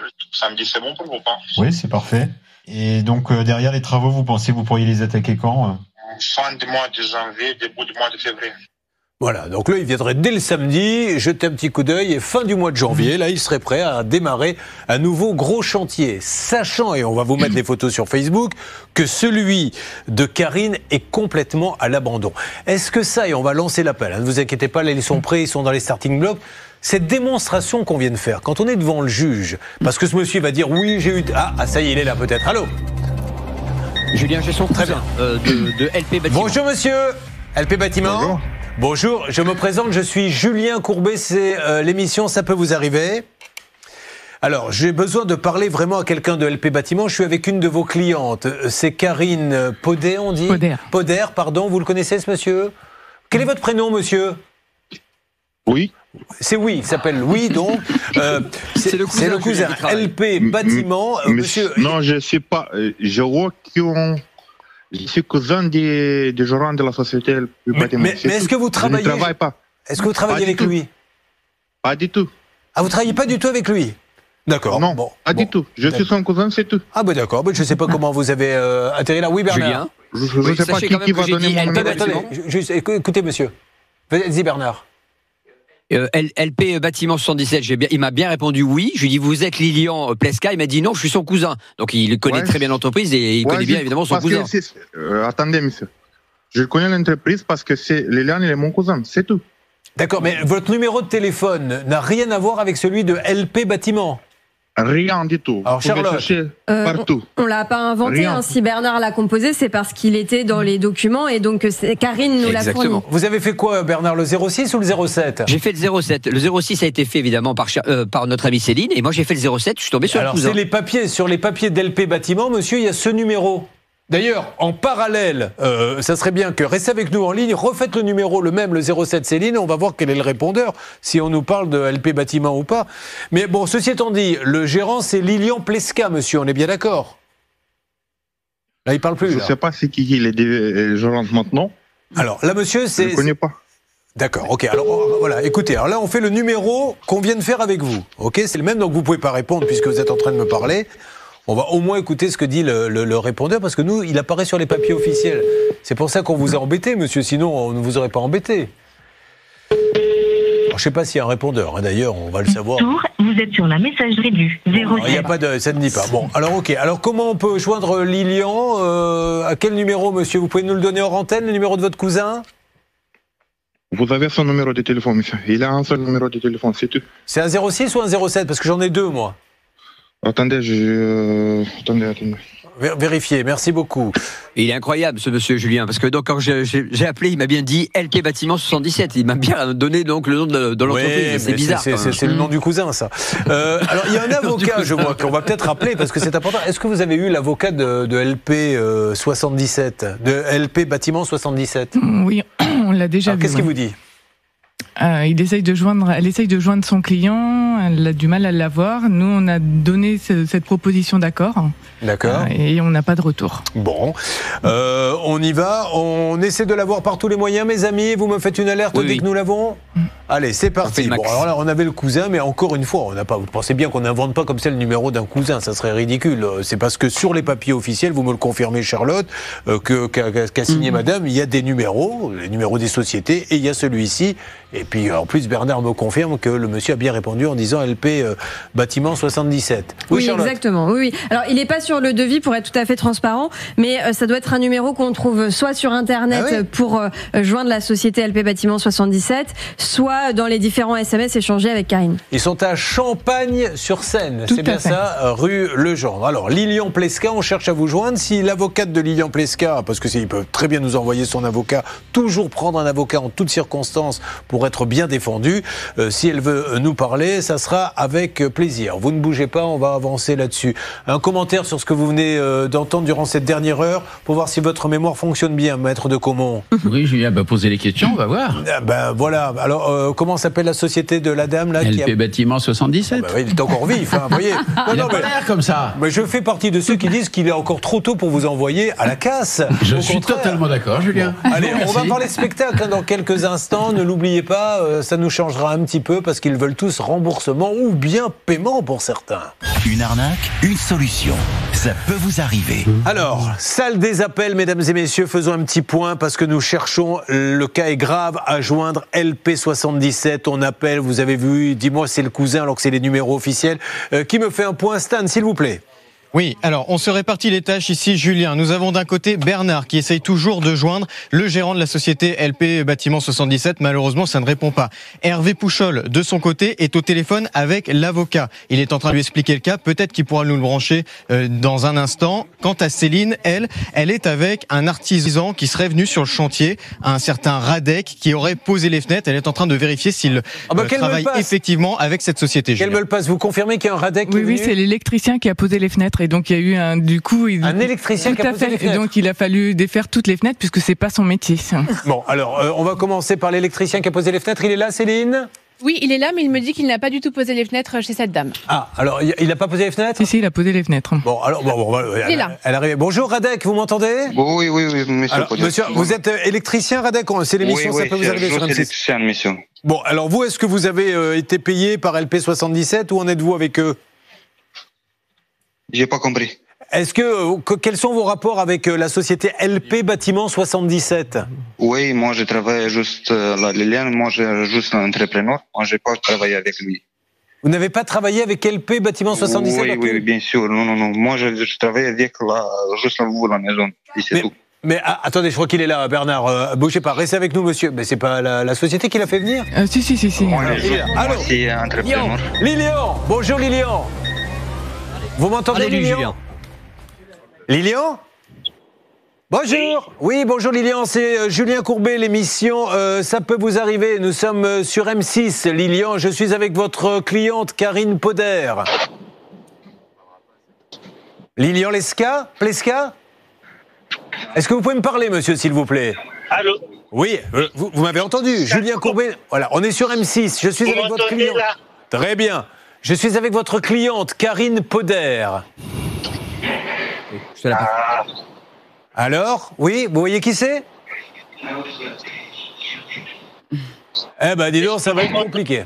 Oui, oui, je vous entends. Récupérez Bernard parce que. Je- j'ai l'impression que c'est un peu le. suis le- sur l'autoroute et ça capte. C'est qui? C'est la télévision, la télévision M6. Je suis avec votre cliente Karine Poder. Vous voyez de qui il s'agit? La, télévision Oui, non, mais là, ça va être trop compliqué, Bernard. Attends, je vais le récupérer, Julien. Ah. Voilà, alors euh, on essaie d'avoir tout le monde, donc tant mieux. Là, on va le garder, on va lui demander de se garer pour essayer euh, d'avancer. Donc je voudrais reprendre une seconde le monsieur qui a fait l'électricité, Radek. Euh, là, ça va pas être facile. Je ne vous le cache pas. euh, vous m'entendez Ce dossier est très compliqué, je tiens à le dire, parce que entre les coupures sur l'autoroute et les langues étrangères, Radek, vous m'entendez? Oui, bien sûr. Vous... Radek, qui vous a payé pour aller faire l'électricité chez Karine Poder? Moi, j'explique encore euh. Moi, j'ai travaillé avec Liliane euh, Pleshka. Moi, je, je suis entrepreneur. Oui? Oui. Alors, c'est Lilian Plesca de LP Bâtiment qui vous a payé pour aller faire l'électricité chez elle. Monsieur, répondez-moi. Euh, oui, vous les discutez avec Liliane. C'est pas de- dérangeant pour moi, monsieur. Qu'est-ce qu'il a dit? Je sais pas le déranger, grosso Avec discuter avec Liliane Pleshka. Ah, On il veut pas qu'on discute uniquement. Non, non, mais monsieur, attendez, juste, est-ce que vous avez posé des fenêtres alors que vous êtes Moi, j'ai pas électricien? posé, moi, la fenêtre. Moi, je suis électricien, monsieur. J'explique encore. Alors, alors, je vais. Karine, qu'est-ce qu'on a. Vous l'avez vu ou pas, ce monsieur? Oui, oui, euh, Radek, euh, vous, Moi, avez Attendez, parler j'ai une pas seconde, allez-y. euh, vous, vous avez bien posé des fenêtres. De toute façon, euh, Lilian nous a reconnu que c'était euh, vous qui les aviez posées. On vous a vu avec votre téléphone en train de regarder comment poser les fenêtres. Donc, euh, Sur un tuto? Oui, sur un tuto. Ah, c'est ouais. pas mal ça, ça c'est une grande première à noter ça. On n'avait encore jamais eu ça. euh. Vous allez vous, poser les fenêtres, mais évidemment, madame, comment vous voulez poser les fenêtres alors? Comment Au revoir, monsieur. poser une fenêtre? Au revoir, monsieur. Au revoir. euh, ouais, d'accord. Non, mais enfin, vous vous rendez compte un petit peu, mais c'est le carnage. On est en train de parler de plus de 100 000 euros. C'est du grand n'importe quoi. On a l'impression d'avoir des marchands de tapis. C'est non, c'est pas moi, c'est lui. Oui, Céline. Oui, Radek, qui vient de raccrocher, me disait, de ce que j'ai compris, que euh, Lilian lui devait 5 000 euros. Donc ben de travailler avec la société. Bon, alors vous avez pu avoir l'avocate également, je crois? Elle est en ligne, Julien, et je vais vous la passer parce qu'elle a des choses très importantes. Bon, ben, tant mieux. Alors, on va, et c'est très très bien qu'elle puisse nous parler. Euh, Maître Moser est là également. Je la prends dans, dans, dans quelques instants. Vous vous rendez compte un peu où, où- où vous, où vous mettez le pied pour qu'on vous dise à tous vérifier un petit peu le passé des uns et des autres. Ce Radek, donc lui, il est électricien, envoyé par LP et il a. Alors en fait, euh, je pense que Lilian Plesca a, vu- a eu les yeux plus gros que le ventre et euh, son entreprise a grossi. À un, à un moment donné, ils étaient à 20, il y avait suffisamment de personnes et ils se sont retrouvés, d'après ce qu'il nous a dit, à 6 personnes. Et donc euh, je pense qu'il a fait avec... euh, En parlons avec l'avocate, parce qu'elle euh, maintenant il faut trouver une solution et euh, Maître Moser, vous allez nous aider. C'est parti sur M6, elle est en ligne. Julien Courbet. RTL. Ce dossier est en train de partir dans tous les sens. Donc Karine a fait appel à une entreprise, l'entreprise LP Bâtiment 77. Le chantier est à l'arrêt. Elle a donné la somme exacte de 128 000 euros. Si vous allez voir les photos sur le Facebook, la page euh, ça peut vous arriver, vous verrez que le chantier est arrêté. Il est à l'abandon. Il n'arrête pas de lui demander des sous. Il lui a même dit à un moment donné, je vais essayer d'aller faire un ravalement dans une autre maison pour grappiller un peu de sous pour pouvoir acheter le matériel parce que j'ai plus de sous. On vient d'avoir un ouvrier euh, qui nous dit, moi j'ai fait l'é- l'électricité à la demande de LP 77, mais il me doit 5000 euros. Madame nous dit, en plus cet ouvrier électricien, c'est lui qui a posé les fenêtres et il cherchait des tutos sur YouTube pour savoir comment on posait les fenêtres. Euh, Voilà où nous en sommes. Et vous avez eu l'avocate de LP Bâtiment 77, l'avocat, pardon, vous-même, qui vous a dit, je vais prendre contact avec mon client pour essayer de trouver une solution. C'est ça? Tout à fait. Et il est en ligne, Hervé? Elle est Ah, en pardon. ligne. Gwenaëlle Philippe, euh, qui n'est pas du tout d'accord. Elle dit que le chantier est Ah en cours. alors, Je vous la bonjour passe. maître, soyez la bienvenue. Nous sommes donc là au moment où je parle sur les antennes respectives d'M6 et de, euh, et de RTL. Donc aujourd'hui, je pose juste la question à Karine. Depuis combien de temps ce monsieur n'est pas venu d'LP euh, 77, LP bâtiment? Alors, il est venu la dernière fois au mois de novembre pour changer les fenêtres. Il a dû redéposer les fenêtres pour les reposer correctement. Donc depuis le mois de novembre. Maître, nous vous écoutons. Qu'est-ce qui se passe dans ce dossier? Bonjour, bon, je ne vais pas pouvoir vous dire grand-chose dans la mesure où moi je suis soumis au, au secret professionnel, hein, comme vous le savez, donc je ne vais pas rentrer dans le détail du dossier en tout état de cause. Euh, je connais bien Monsieur Poder puisque je l'ai rencontré, hein, il y a déjà eu une conciliation, enfin une tentative de conciliation. On s'est, on s'est vu, on a été sur le site ensemble, donc ils le savent très bien. Le chantier n'est pas du tout abandonné, il a c'est peut-être pris du retard, hein, c'est oui, mais euh, il est en cours, donc euh, c'est un chantier important. Et il a combien de retard, maître, exactement? Je ne sais pas combien il y a de retard parce que vous savez sur un chantier ça bouge tout le temps, il y a Bah, des problèmes non, d'approvisionnement. maître, bah, vous, vous connaissez le droit aussi, vous le connaissez même mieux que moi. Euh, quand on Il y a- vend une vous avez maison- pas toujours, j'ai pas le contrat sous les yeux, hein, c'est Bah, pas on va lui demander dossier. de Vous mettre fini quand la maison Vous n'avez pas toujours un délai. hein. Est-ce que c'est écrit contractuellement Bah, J'en sais rien. je sais Non, il n'y a pas de délai sur Ah, il n'y a pas de délai. Voilà, bah voilà, c'est pour ça que je vous dis, il faut revoir les, remettre les choses dans le contexte. Alors que le chantier est en cours, il n'a jamais été abandonné. Hein. euh, Chantier qui a commencé Euh, le 3 septembre. 2021. Tout à fait. D'accord, ok. Donc il a maintenant un an et trois mois pour une rénovation, ok? Donc il compte revenir quand? Il n'est plus venu depuis novembre, maître C'est pas qu'une simple rénovation. Enfin, le chantier est vraiment très important. Vous l'avez vu vous-même. Hein. C'est c'est pas une réhabilitation intérieure. Il faut vraiment euh, faire le clos, le couvert. Enfin, c'est c'est quand même un chantier important. Donc euh, là, c'est en cours. Euh, ils ont, moi, ils m'appellent régulièrement. Ils ont un avocat en plus. Hein. Donc moi, normalement, je dois communiquer que avec l'avocat. Donc si l'avocat m'appelle, il y a aucun souci. Alors là, il y a un moi, ouvrier qui vient de dire qu'il n'a pas été payé, donc il reviendra plus. hein. C'est l'électricien, et elle a donné à ce jour combien? 128 000 euros. 128 000 euros sur une somme totale de 182 000. 182 000. On a vu les images, euh, maître. euh, si vous estimez qu'il y a soit 80% de travaux qui ont été faits, euh, on voit pas les choses de la même façon. Hein. Vous n'avez pas toutes les données du, du, Ben, litige. moi, pas. Je sais les- pas si- Ma- Madame, Moi, quand pas est-ce qu'elle aura sa maison, non, non. maître? C'est tout ce qu'on vous demande. Moi, je- je- alors déjà, moi, je suis avocat, hein, je suis pas entrepreneur, donc c'est pas moi qui vais vous donner un délai de, de définition, j'en sais rien. Euh, le client, lui, il revient, euh, il revient régulièrement quand même. C'est pas non, il n'est pas venu depuis novembre, maître. Bah, il revient pas moi, régulièrement. je j'ai pas forcément les mêmes informations, mais peu importe. euh, on n'est pas là pour débattre du dossier sur le fond. euh, on n'est pas devant une juridiction. Tout ce que je peux vous dire, c'est qu'il n'y a pas d'abandon de chantier. C'est ça que je voulais vraiment insister là-dessus. Euh, que Monsieur Presca, il répond quand même régulièrement. Il est venu devant, devant la conciliatrice. Il est revenu sur le chantier parce que j'étais là. Enfin, c'est pas quelqu'un qui, euh, c'est quelqu'un d'ex- d'extrêmement honnête, contrairement à ce que j'ai l'impression qu'on essaye de vous faire. euh, Ah pas du tout. Non, on a juste dit maître pour être totalement Oui, mais transparent je qu'il a déjà monté. voilà. Il a déjà monté deux boîtes qu'il a fermées, je crois. hein. C'est des liquidations. c'est- Liquidation Voilà, judiciaire. il a déjà fait deux liquidations judiciaires. Là, il en a monté une troisième. Elle, elle attend désespérément la fin de son chantier. Euh, On a essayé d'avoir. De toute façon, on va faire des points régulièrement et on verra maître si votre client est effectivement un homme qui suit les chantiers continus ou si euh, il nous pipote parce que là, depuis le mois de novembre, il n'a rien fait. Les fenêtres sont pas la bonne couleur. L'électricien nous dit oui, effectivement, j'ai pas été payé, je viens plus. Moi, je mets tout ça sur la table, maître. Maintenant, je demande qu'une chose, c'est quelle est sa maison. Maître Moser, votre conseil. Oui, bonjour consoeur. Et puis moi j'ai sous les yeux, alors je ne sais pas si cela a été euh, communiqué, un rapport euh, d'un cabinet d'experts privés qui indique qu'en réalité sur les 123 000 euros et quelques payés par les époux Poder, euh, ce qui a été fait par par euh, votre client euh, s'avérerait équivalent à 59 580 euros. Donc peut-être y a-t-il un compte à faire entre les parties. Alors, et il oui, semblerait que je- monsieur. euh, alors, oui, pardon. Je- Excusez-moi de vous couper, je suis désolée, mais prie. je- je- je- je- j'entends ce que vous dites. euh, je connais ce rapport. C'est un rapport qui a été fait non contradictoirement, donc vous connaissez la valeur Tout des documents non contradictoires qui n'ont pas une grande valeur. Je sais que Monsieur Plesca a appelé justement cette personne. Ils en ont parlé. La personne n'avait pas eu non plus le- forcément les devis, contrats qui ont été donnés. Il n'avait pas forcément tous les éléments non plus. Donc moi, je veux bien qu'on parle de ce qu'on veut, mais il faut quand même euh, voilà, remettre les choses dans le contexte. Euh, il y a peut-être des choses qui ne vont pas, bien sûr. C'est parce qu'on on dit pas l'inverse. On dit juste que Monsieur Plesca euh, est toujours là et que le chantier n'est pas terminé, mais qu'il est en cours. Donc on peut évaluer tout ce qu'on veut, dire tout ça n'a pas été fait, mais tant que le chantier n'est pas réceptionné et que vous avez encore un interlocuteur. maître, juste, ça sera ma dernière question. Vous estimez, vous, en tant qu'avocate, un délai raisonnable de livraison d'un chantier de combien d'années? Mais je, je n'ai pas à répondre à cette question Ah, parce que dommage. chaque, Bah, chaque- bah, parce que c'est- le débat mais- est là, si vous voulez. Elle, elle a donné parce 100 et quelques mille. Il n'y a pas de délai Si dans trois ans, ah bah, il n'y a pas de délai. Donc, bah, alors c'est, et, euh, si vous signez avec LP Bâtiment, je vous le dis à tous qui nous écoutez, et regardez, exigez un délai parce que sinon ça peut prendre 3-4 ans et puis vous n'aurez rien à dire, quoi. Mais je peux poser une question? En fait, on a, vous avez soumis un protocole d'accord pour lequel on n'a aucune nouvelle depuis mi-novembre. Donc, euh, pourquoi ce silence et qu'est-ce qu'il en est? Parce que nous, en fait, on veut mettre un toit et des fenêtres pour que la, Alors, la maison soit. vous avez dit que vous reviendrez vers Il n'y a elle. pas de protocole d'accord qui a été signé. Oui, hein, mais justement, enfin, un échange, parce que pour l'instant, c'est statu quo. Fin. Allez, ce que je vous propose, maître, merci de nous avoir parlé, maître. Euh, nous, on va suivre maintenant tous les mois ce chantier avec photo à l'appui et vidéo, et on va bien voir. euh, Il y en a un des deux, de toute façon, euh, qui C'est soit vous, soit lui. Soit il peut pas faire le chantier, soit il peut le faire. S'il peut le faire, il vient. S'il vient pas, c'est qu'il peut pas le faire.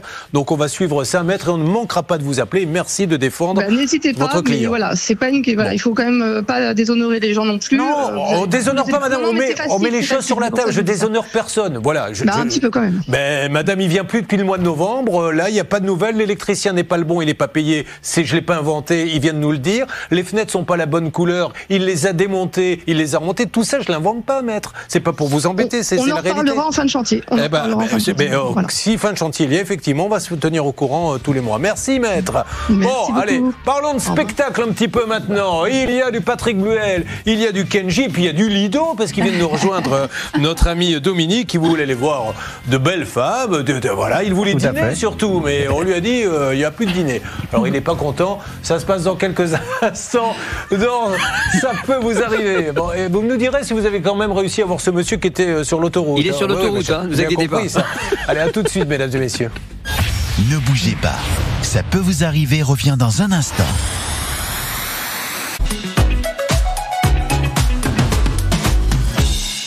Attention, dans Ça peut vous arriver, une dernière partie très musicale, puisqu'il est question, une fois n'est pas coutume, de spectacle. Alors, il y aura du Patrick Bruel, avec un interprète qui, sur scène, fait des spectacles magnifiques, mais malheureusement n'est pas payé. On ira après avec Kenji Girac, puisque nous avons une fan de Kenji. C'est Nicole qui avait envie d'aller le voir. Elle a acheté les places et finalement, elle n'a rien eu du tout.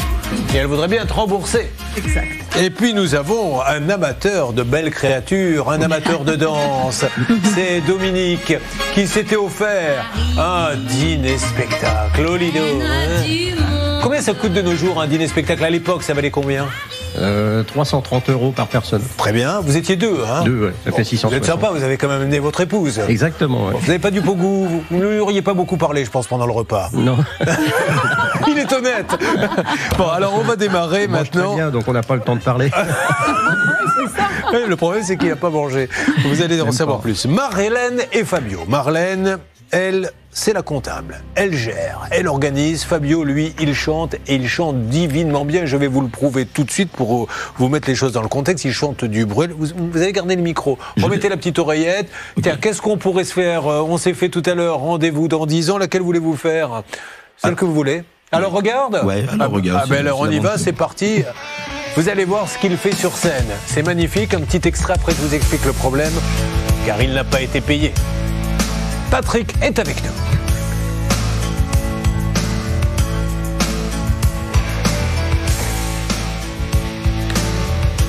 Ah, Ça n'avait pas encore démarré Intro. Désolé. On aurait pu la couper. Allez, c'était à vous. Le sommeil veut pas de moi, je rêve depuis longtemps. Sur la télé, la neige a envahi l'écran. J'ai vu des hommes qui courent, une terre qui recule. Des appels au secours, des enfants qu'on bouscule. Tu dis que c'est pas mon rôle de parler de tout ça. Qu'avant de prendre la parole, il faut aller là-bas. Tu dis que c'est trop facile, tu dis que ça sert à rien. Mais c'est encore plus facile de ne parler de rien. Allez, un refrain. Alors regarde, regarde un peu. Je vais pas me taire parce que t'as mal aux yeux. Alors regarde, regarde un peu. Tu verras tout ce qu'on peut faire si on est deux. Fabio Magnifique. Alors, voilà. Vous avez mis dans le contexte, c'est son boulot à Fabio d'organiser des spectacles. Alors, ils ne font pas que du Bruel, mais là, euh, ce jour-là, ils en font. Alors, euh, vous faites des tas de spectacles tous les deux, et là, vous avez été un jour euh, contacté par qui? Alors par euh, Gérard Bellune de la société Bellune. On va essayer d'appeler d'ailleurs. On lui avait bien dit, on peut-être pas donner le nom dès le départ. Elle a préféré donner les deux noms dès le début. Mais c'est pas grave, ce monsieur, on va pouvoir discuter avec lui. hein. Et euh, la prestation comportait quoi alors? Donc on, donc nous on a vendu, alors moi j'ai vendu un tribute Patrick Bourrel avec cinq artistes sur scène. Bon, un tribut, vous parlez de tribut comme si vous pensez que tout le monde sait ce qu'est un tribut, c'est-à-dire un hommage Un à Patrick hommage, Bruel. voilà, Donc. sur scène, il chante que du Bruel avec des musiciens. Voilà, pendant 1h30, 1h45 avec des musiciens. C'est génial. hein. Alors combien a été la prestation? Au niveau du prix, on était à 3500 euros Parce faut hors taxe. payer les musiciens, le transport. Voilà, on a ça. pris du backline donc sur place. Donc Du on- backline maintenant Tout à l'heure elle me fait un tribut, maintenant elle me fait du backline. Qu'est-ce que c'est que du des, backline? Des instruments euh, en location, des instruments de musique. Bah voilà Non mais franchement, vous saviez ce que c'était du backline Dominique? Et un tribut Mais non, vous, ce qui vous intéresse Dominique, c'est de voir une belle femme danser. Voilà, exactement. Eh ben voilà. Alors, qu'est-ce qui s'est passé après le backline et le tribut Donc on a fait la prestation euh, le 16 août euh, sur la, je sais pas si je peux dire la commune du coup, la commune de Draguignan. Oui. Euh, donc tout s'est bien passé et puis euh, ensuite, euh, bah, voilà le moment de la facture. Donc euh, ils ont un délai d'un mois pour payer. Et puis bah, au bout d'un mois, euh, on voyait toujours rien arriver. Donc Le- euh, Le paiement était prévu quand? Dans ces cas-là, les spectacles, c'est à la. alors du coup moi je fais des factures avec un délai de paiement de un mois. C'est pas à la fin du spectacle? Non, on le fait pas en général parce qu'en général ça se passe bien. D'accord. Mais je pense que maintenant on va changer. Ben oui.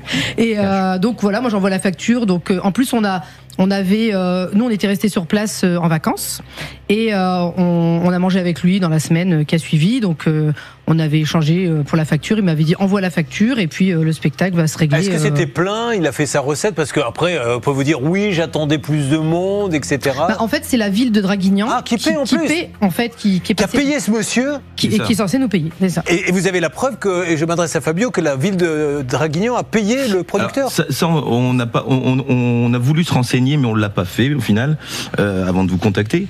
Euh, et en tout cas, c'est un, spectacle que la ville de Draguignan offre à la population. Oui. Donc il n'y a pas d'entrée payante, il n'y a pas. D'accord, mais, mais on est sûr d'être payé. Enfin, Exactement, c'est ça. Parce que la municipalité a des budgets, ils C'est font ça. venir des artistes, mais comme ils ne savent pas faire parce que ce n'est pas leur métier, ils prennent un professionnel en lui disant tiens, voilà une enveloppe de 5000 euros par exemple, fais-nous une, euh, propose-nous un spectacle. Ce monsieur prend les 5000 euros, vous appelle, il vous donne 3005, il garde 1005, ce qui est normal, peut-être c'est sa marge, Oui, oui, bien sûr.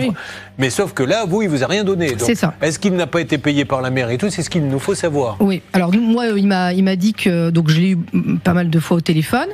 Euh, il a eu, euh, bon, il y avait plusieurs excuses. Euh, au départ, il a, le comptable allait faire le virement. Ensuite, euh, bon, son papa était malade et ensuite, il attendait une somme de 70 000 euros. Donc Ça, de, ça, ça, c'est, ça, c'est- voilà, c'est ça qui est de, de la part de la mairie. non, de la part d'une tournée qu'il avait fait toute celle l'été. Enfin, c'était un C'est peu. c'est là où ça commence à sentir mauvais, on va en parler avec vous, parce que la mairie l'a payé ou ne l'a pas payé. Si elle l'a payé, il n'a pas besoin d'attendre de l'argent d'une autre tournée, il n'a pas besoin... euh, un virement, ça se fait, moi-même qui suis... Alors, je vais vous dire, je suis capable, j'arrive à faire des virements en, en- en 40 secondes aujourd'hui avec Internet, donc quand il commence à y avoir des tas et des tas d'excuses, ça nous ennuie un peu. Nous pourrions d'ici quelques instants, Stan, avant d'avoir la règle d'or d'Anne-Claire Moser, avoir ce monsieur peut-être en ligne. Exactement, nous espérons, Julien. Euh, en tout cas, Céline a réussi à s'entretenir avec. Et puis on parlera après, euh, Denis, avec Nicole. Ritano Elle voulait aller voir Kenji. Et elle l'a pas vu, la pauvre. On ira ensuite dans un dîner-spectacle. Vous, il a payé avec son épouse pour un grand dîner. Vous allez voir que le pauvre, aujourd'hui, il, il- il a rien parce que. L'explication, on la donnera tout à l'heure. Mais là, je voudrais qu'on avance sur le cas de, de Patrick Bruel, que l'on salue d'ailleurs. Alors, euh, on continue euh, avec vous. Donc, ce monsieur, le dernier dialogue que vous avez eu avec lui concernant cette prestation. Alors c'était courant novembre, donc le 28 novembre, euh, il a eu un échange avec Fabio par SMS. Euh, bah, je crois que c'était ce jour-là, euh, le 26. On, on l'avait eu par téléphone quelques Ouais. jours avant. Il nous avait dit que euh, il y avait rentré de l'argent et qu'il allait nous payer, que c'était en cours. On en parle dans une seconde Allons-y. Bougez pas. Vous suivez, ça peut vous arriver. Euh, c'est peut-être un peu confus ce que vous venez de vivre, mesdames et messieurs, parce que je vais vous le dire humblement. Je me suis planté en regardant le chrono. J'ai pas vu le bon chiffre, je suis parti trop tôt. Et voilà, donc maintenant, je me retrouve euh, en plein décroché. Ils étaient tous un peu affolés en régie. J'ai eu du Bruel, du Kenji, du Lido. Et puis j'ai eu aussi un connard à un moment donné, de je ne sais pas qui, mais euh, qui ne faisait pas Bruel d'ailleurs. Donc elle est pour moi, celle-ci. Je vous dois donc à tous une tournée. Oui, donc au mois de novembre, il vous a dit. Donc mois de novembre, on l'a- eu. Donc, et le dernier SMS, c'était euh, Fabio qui, qui s'est entretenu avec lui. Qu'est-ce qu'il dit Et il nous dit euh, donc euh, qui va payer, qu'il a reçu une somme d'argent et qui va payer. Donc nous, on lui envoie un message le 28 novembre en lui disant que maintenant c'est Le, le SMS, je lui envoie, Ouais. mais il me répond pas à ce Oui. SMS. Quelques jours avant, c'est là où il nous dit, je viens de re- de rentrer euh, 77 000 euros et je, je vous paye ça. Vous allez vous mettre d'accord sur la version tous les deux. Ils sont en train de se tu t'es tais- s'il te plaît, tais-toi. Déjà que l'autre n'est pas capable d'envoyer les, les décrochages au bon moment.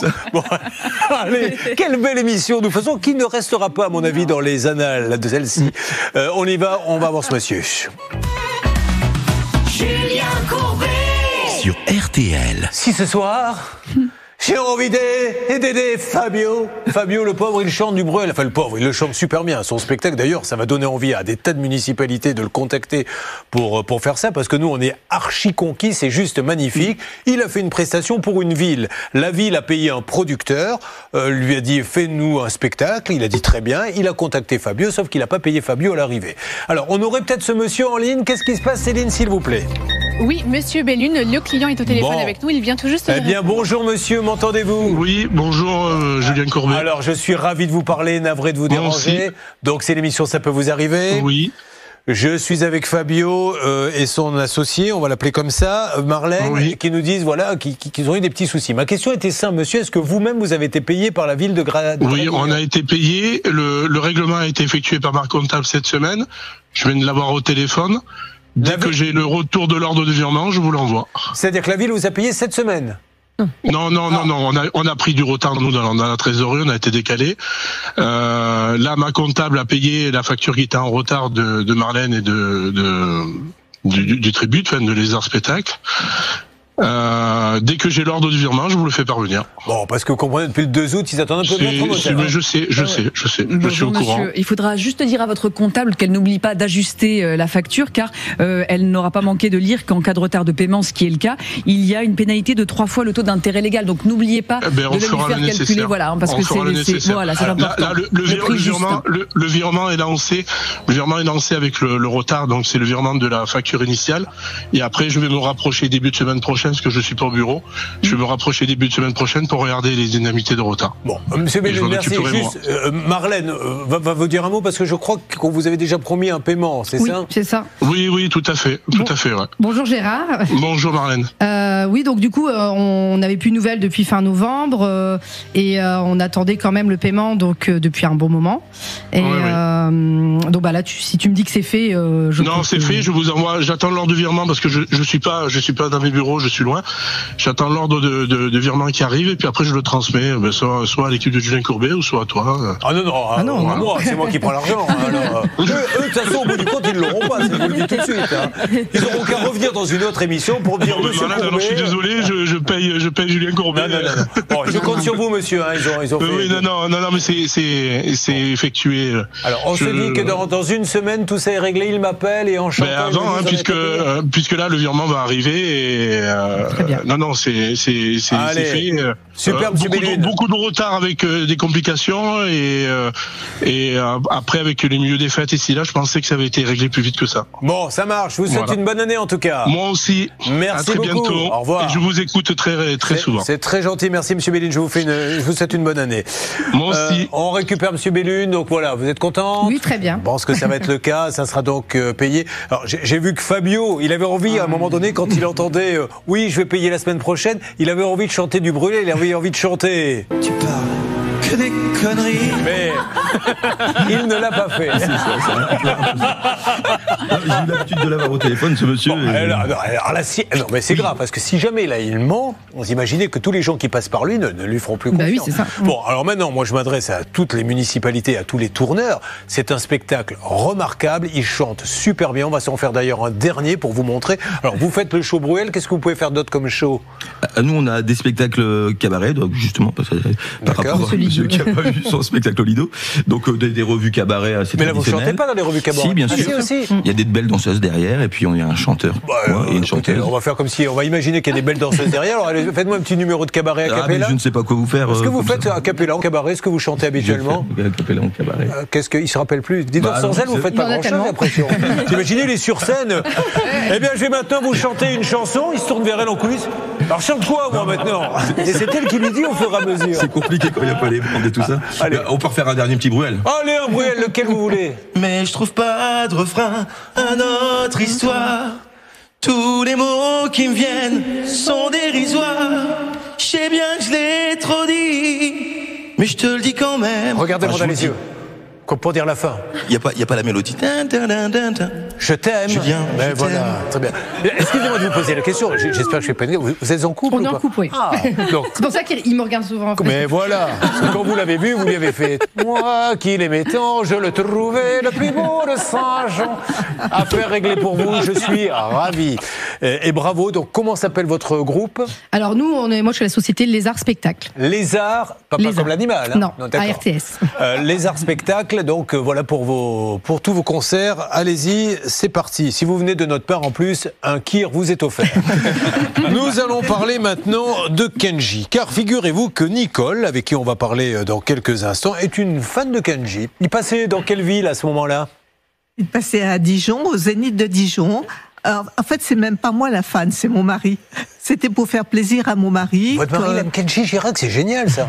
Et, Et- vous vouliez lui faire une surprise? Oui, et donc j'ai acheté euh, deux billets par, euh, par Internet. On verra ça tout à l'heure. Juste, dites-moi, vous êtes à Longeau-Pluvaux. Oui. C'est dans les Côtes d'Or. Oui. En quelques secondes, qu'est-ce qui se passe à Longeau-Pluvaux Eh bien, il y a un verger de sauvegarde donc pour les espèces un petit peu disparues, les variétés fruitières euh, qui sont rares, anciennes et régionales. Il a été créé en 2018 et donc là-bas, il y a des cerisiers, des pommiers, des poiriers et des Bon, pruniers. alors votre mari, il est fan de Kenji Girac depuis combien de temps? Depuis très longtemps Il en écoute dans la, à la maison souvent? Oui, un petit peu, oui, mais euh, souvent, euh, bon, un petit peu, mais euh, Vous, vous écoutez c'était l'occasion, c'était l'occasion De là, sortir? euh, oui, de sortir, de faire un spectacle sympa, mais, mais vous, vous, vous gai, auriez- euh, vous, vous aimez qui, vous?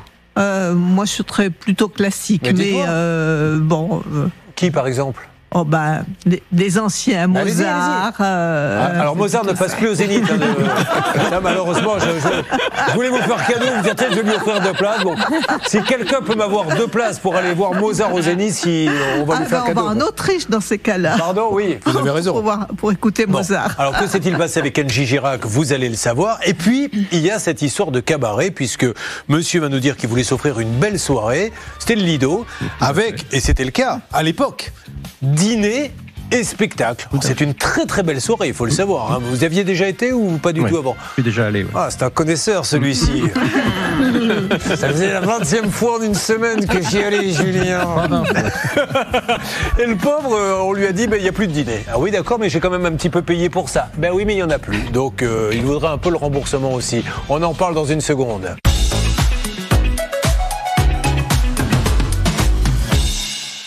Merci d'être avec nous, ça peut vous arriver. Euh, spécial galère de spectacle aujourd'hui avec ambiance Kenji Girard.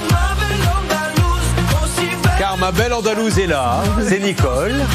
Euh, Nicole qui est, euh, je le rappelle, mariée à Jean-Pierre. Et Jean-Pierre est un fan de Kenji Girac et elle lui a fait une petite surprise. Elle lui a acheté donc euh, deux places. Dites-moi, juste avant de parler de ça, j'ai cru comprendre que Noël avait failli tourner à la catastrophe. Qu'est-ce qui s'est passé avec le four? Racontez-nous. J'ai fait cuire une belle dinde. Oui. Et puis, j'ai commencé à appeler mon mari. J'avais tous mes invités. Et, euh, et je tourne le bouton du four euh, pour arrêter avant de l'ouvrir. Et là, je tourne un cran de trop et j'ai enclenché la pyrolyse.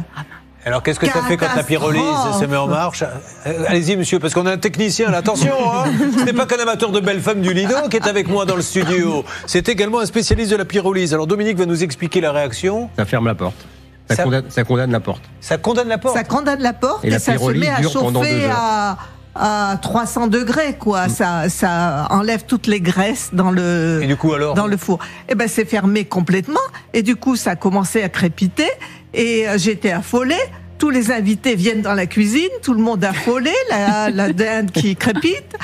Et, euh, et on savait pas comment arrêter parce que c'est effectivement impossible. On tourne les boutons, impossible. Jusqu'à ce que hum, une des personnes dise euh, peut-être qu'il faudrait tout disjoncter la maison et ça permettra peut-être d'ouvrir le four. C'est pas bête, ça, c'est ce que vous avez fait. Et c'est ce qu'on a fait, on a sauvé la dinde et on l'a mangée un petit peu brûlée, mais on l'a mangée. Il y avait ce petit fumé noir dessus, légèrement. Bon, mais c'est pas votre année, dites donc, euh, 2000 2022. Bon, alors, on revient sur Kenji Girac. Vous avez donc été sur un site internet, elle offre deux places pour aller voir Kenji, et que, que l'on salue d'ailleurs, hein, qu'on aime Ah beaucoup. Et vous aussi.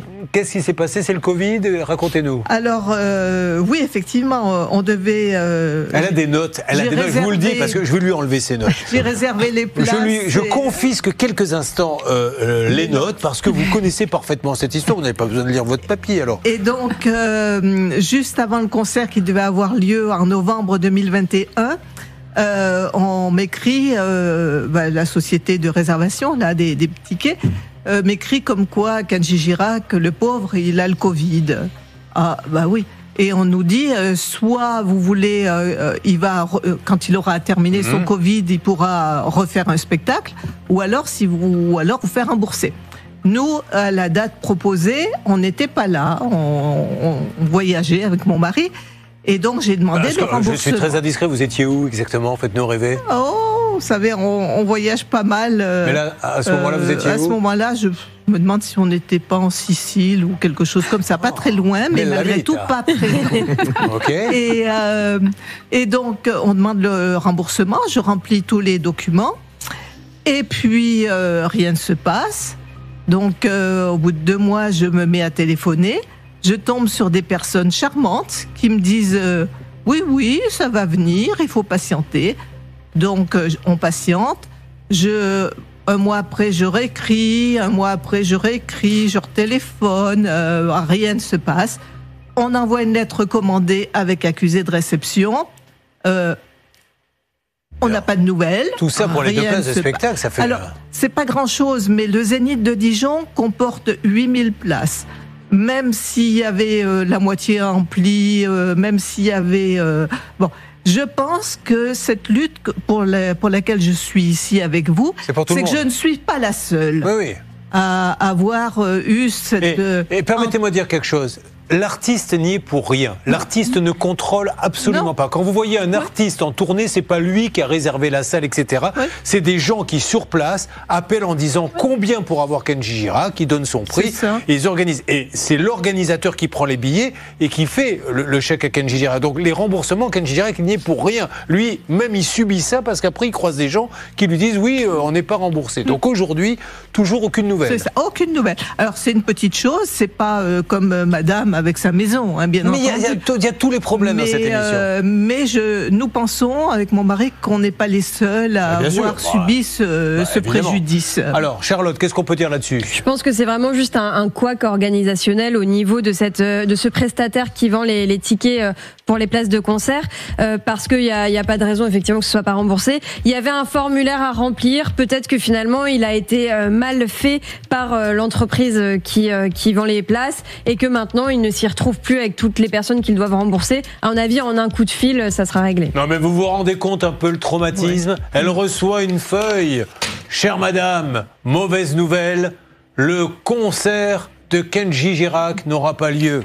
Je pense à d'autres personnes qui ont reçu de ma part une feuille également. Madame, mauvaise nouvelle, Le one-man show de Julien Courbet aura bien lieu. Oh, ben, pas deux fois dans la même journée, quand même. Allez-y. Oui, effectivement. Le contrat, il a été passé en- entre notre ami et la société qui preste, en fait, non pas pour Kenji Girac, vous l'avez dit, mais pour le Zénith. Et moi, j'ai sous les yeux le document euh, en question qui dit, effectivement, le concert est reporté. Et si vous n'êtes pas d'accord, je lis, vous désirez tout de même être remboursé, c'est possible aussi. Et c'est le choix qu'a fait notre ami. Donc, je partage l'avis de Charlotte, ça doit être un couac, mais euh, couac plus couac, ça en fait beaucoup quand même qui doivent se retrouver dans ça la panade. couacs. Ça fait couac, couac. Mais euh, dites-moi quoi, quoi, quoi. Ça- il, est- il était quand le concert déjà, rappelez-moi Euh, euh, au mois de novembre 2011. Au mois de novembre Non, pas 2011, Euh, 2021. 2021.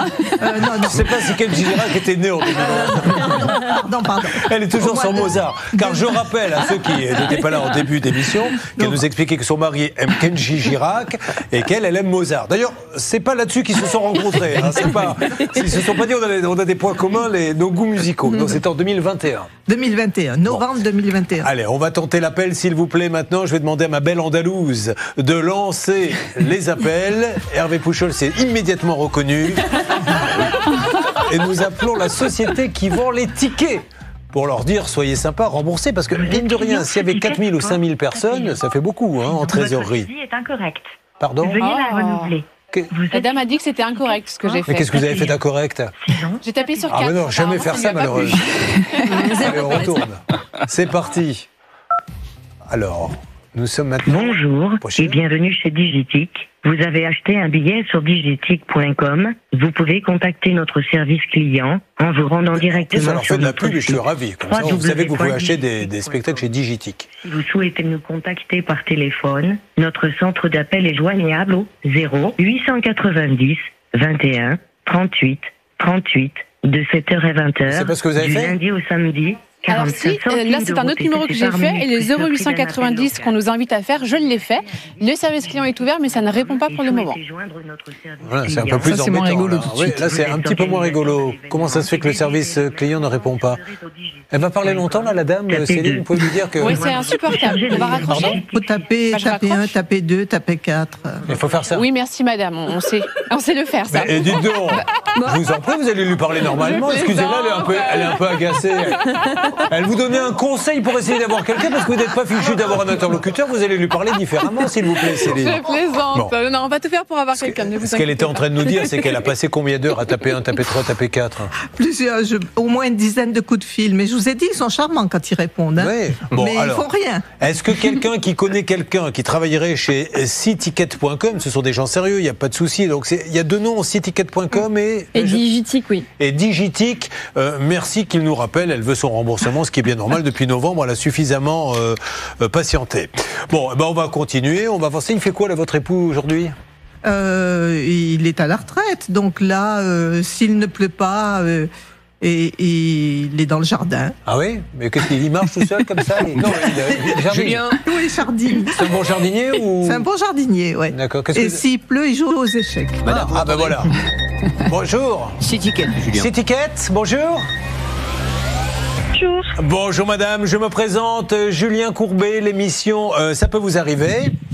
Je me permets de vous appeler car dans le cadre de mon émission, j'ai une dame qui a voulu aller voir Kenji Girac. Le concert a été annulé. Elle a donc demandé le remboursement, rempli euh, tous les euh, papiers nécessaires. C'était en novembre 2021 que devait avoir lieu le concert et malheureusement, elle ne voit rien venir et maintenant, elle a, elle a plus personne. Est-ce que nous pouvons nous entretenir quelques instants et vous pouvez peut-être m'aider là-dessus? Allô On va voir cela. Oui, oui, je vous entends très bien. D'accord. Avez-vous entendu la question que, que je vous ai posée? Oui, j'ai entendu très bien votre question. Bon, ben alors c'est super. Alors, bon, on va se quitter là-dessus. Oui. Alors, Non, alors maintenant, ce qu'on... non, non, je plaisante, madame, parce que vous devez être surprise. Non, ce qui serait bien, c'est que vous me donniez la réponse. Si vous pouvez rester un petit peu avec moi et nous dire pour ce remboursement euh, ce que doit faire cette dame, parce qu'elle a déjà un peu rempli tous les papiers. On va faire ça. Vous suivez, ça peut vous arriver. Alors, madame, euh, grosso modo, est-ce que vous les démarches, qu'est-ce que redites à cette dame ce que vous avez fait comme démarche de Citiquette? Alors, j'ai téléphoné de nombreuses fois. J'ai envoyé une lettre recommandée avec accusé de réception, mais sans réponse. Et J'ai une mauvaise nouvelle pour vous. Euh, écoutez bien, Bernard Sabat, qu'en est-il? Elle a raccroché. Ah la la raccrochado. Bon, eh ben, alors on va rappeler. hein. Je la rappelle. C'est un peu embêtant ça. Oui, Charlotte. Pour info, Citycat, anciennement Digitic, appartient au groupe Bolloré. Donc, euh, au pire, on appellera. Oh, tout bon, bah, on peut l'appeler, hein, pourquoi pas. Mais bon, je suis sûr que c'est- c'est un couac. Mais ce que je comprends pas, c'est qu'on n'arrive pas à avoir un dialogue. Elle a tout essayé pour avoir une, une réponse. Bon, ben, vous essayez de rappeler et vous me tenez au courant? Oui, Julien. Allez, ça marche. Euh, nous allons maintenant. Au Lido. Voilà, pas tout, ça, pas tout de suite, Dominique. Soyez pas pressé d'y aller. Oh là là, ce Dominique. Non, moi j'ai envie, Dominique, déjà qu'on sache un petit peu, qu'on fasse connaissance avec vous. Donc vous arrivez très exactement de Châtenay-Malabry. Tout à fait. Alors, euh, Châtenay-Malabry, est-ce qu'on sait ce qui se passe là-bas, Céline? Oui, attention, info travaux jusqu'au 13 janvier prochain. La circulation sera interdite à tous les véhicules avenue de la division Leclerc entre les numéros 2 et 30. Bernard, est-ce que vous pourriez éteindre votre micro parce que ça m'empêche de faire ma chronique? Euh, oh non, ne lui parlez pas comme ça. Dites-lui, est-ce que vous pouvez la fermer Parce que là, franchement, vous pouvez vous permettre. Maintenant, on est à un niveau, on, on peut Oui, c'est vrai. Alors, donc il va y avoir des pour- travaux, c'est super. Oui, il y a des travaux. Bon, faites attention, Ah ouais. double sens sur une certaine partie, exactement. Mais monsieur, vous êtes très au courant. Donc voilà. Il a l'air Attention d'être au courant. Châtenay-Malabry. à côté. Eh ben, Vous habitez à côté des travaux? Bon, ça fait combien de temps que vous habitez à Châtenay-Malabry Euh, deux ans. Très bien. Alors vous, faites, vous êtes à la retraite? Tout à fait. Qu'est-ce que vous faisiez dans la vie? Euh, commercial en composants électroniques. En composant électronique. Électrotechnique, électronique. Et vous avez des fourmis dans les jambes parce que depuis tout à l'heure, je, je vois sous votre bureau, il a, il a les jambes comme ça parce Ah ouais, qu'il twist en fait. Il est bon. Alors, euh, on va parler de ça, de Châtenay-Malabry. Juste une petite, euh, une petite anecdote rigolote qu'il va nous raconter. Vous avez volé des salades dans un champ quand vous aviez 19 ans. Hum Faut le faire quand même, aller voler des salades. C'était pour manger? Tout à fait, bah, bien sûr. Et alors le Bah, monsieur est sorti avec un fusil? En pleine nuit. Ça vous fait rire? Bah oui. Et vous êtes tiré dessus Alors, il a tiré en l'air, il a tiré en l'air. Ah bon, alors vous avez lâché les salades? Non, non, on les a emmenés. Ah oui, quand même. Il y a encore des gens qui ont le courage de dire oui, on était vrais voleurs, monsieur Courbet, on aime quand il travaille. Et bien fait, il aurait pu me dire non, on les a reposés, Ah on non, s'est bah dit non, c'est pas bien. Bon, vous avez piqué combien de salades? Oh, euh, 4 ou 5 Vous vous rendez compte, et ça c'est une grande première. Nous avons le premier voleur de salade de 2023 sur le plateau. Alors, euh, le Lido, c'était pas la première fois. Je crois que vous aimez le cabaret beaucoup Oui. Avec madame, vous aimez sortir un petit peu Oui, oui. Et, et ça en particulier, ce genre de spectacle On aime bien, oui. Bon, alors vous aviez vu une petite annonce, qu'est-ce qui s'est passé? En fait, c'est notre fille qui voulait nous faire plaisir et Elle vous a offert ça? elle nous a offert euh, le Lido. Ah bon, attendez, excusez-moi, vous pourriez me dire qu'on a ça derrière, j'ai pas vu, bon regardez, eh, non mais ceci étant dit, je vous assure c'est à faire au moins une fois. C'est magnifique, alors les, les- les filles sont plus splendides les unes que les autres. Les hommes aussi. Ah ben aussi, mais voilà, excusez-moi, nous on a choisi que des filles, mais euh, voilà, le Lido de Paris, puis c'est, voilà, dans le monde entier on en parle hein, de ce spectacle, sauf qu'il y a eu des petits changements, Charlotte va nous le dire, et ces petits changements, malheureusement, ça n'a pas fait vos affaires. Euh, toujours rien du côté de notre ami Kenji, ça a bougé un petit peu? Si. Ah, ben on va la Ça a bougé grâce à Bernard. Ah bah bravo Bernard, donc on va la reprendre tout de suite et puis on attaque le Lido, on a un petit peu de temps, tout va bien, spécial spectacle, vous voyez, on casse un peu la routine dans Ça peut vous arriver sur M6. Julien Courbet. RTL. Nous allons parler du Lido, vous le savez, puisque notre ami aimerait bien lui aussi être remboursé, il n'a pas eu le droit à son dîner spectacle, mais là on était sur Kenji, et Kenji qui a annulé, parce que le pauvre a eu le Covid, donc euh, on a le droit au remboursement, mais notre ami euh, Nicole n'arrive pas à l'avoir, le remboursement. On a eu quelqu'un de l'organisme de vente de tickets qui a dû croire que c'était une blague peut-être, mais vous avez pu la récupérer, c'est ça Bernard? Oui, Julien, je suis avec un monsieur. Je vous le passe. Voilà, Vous avez un train à prendre peut-être euh, Bernard Non, Ah bon, pas du tout. C'est juste pour que vous parliez avec ce monsieur pour le Ah, rassurer. bonjour monsieur M'entendez-vous? Oui, bonjour monsieur. Alors, je Oui. me présente. Ce n'est pas une blague, monsieur. Je m'appelle Julien Courbet. Je suis actuellement en train de faire une émission qui s'appelle Ça peut vous arriver. Et je suis avec Nicole qui a acheté des places chez vous parce que vous êtes des gens sérieux et elle achète les places chez vous pour aller voir Kenji Girac qui a annulé son concert au mois de novembre et elle essaie par tous les moyens de se faire rembourser. Comment pouvez-vous l'aider? Parce qu'elle n'y arrive pas Alors, est-ce que c'est pour la commande que, euh, que vous avez indiqué tout à l'heure? Oui, oui, pour les deux places pour le concert de Kenji Girac. Exactement. C'est ça? Voilà. Alors, 2021. comment ça se passe exactement? Euh, Ce que je vois ici, il y a deux places euh, pour le concert de Kenji Girac pour la date du 8 avril 2022 à 20h. Ça, c'est la date qu'elle a refusée. Non, ça c'est la date, elle Ah a non, refusé. non. Elle a dit qu'elle ne voulait pas d'une nouvelle date. Non, c'était pour 2021, la date. Euh, D'accord. Est-ce que euh, l'acheteur initial, est-ce que euh, la personne a déjà effectué une demande de remboursement Ah oui, oui, c'est pour, ça qu'elle est avec nous. Qu'est-ce que vous avez fait exactement? Oui, oui, j'ai- téléphoné plusieurs fois, puis euh, je vous ai envoyé une lettre recommandée avec accusé de réception et euh, sans réponse de votre part. Voilà. Alors, qu'est-ce que vous lui conseillez? Quand est-ce que vous avez effectué la demande de remboursement exactement, euh, madame, s'il vous plaît Pour m'indiquer la date Bah, écoutez, c'était juste après le, le, le, le concert. euh, avant le concert, on, vous- on- vous m'avez envoyé euh, le- par SMS Non, non, le formulaire. Ensuite, je l'ai renvoyé immédiatement. Ça Voilà. devait être peut-être fin novembre 2021. Vous, vous n'avez rien sur votre ordinateur, monsieur?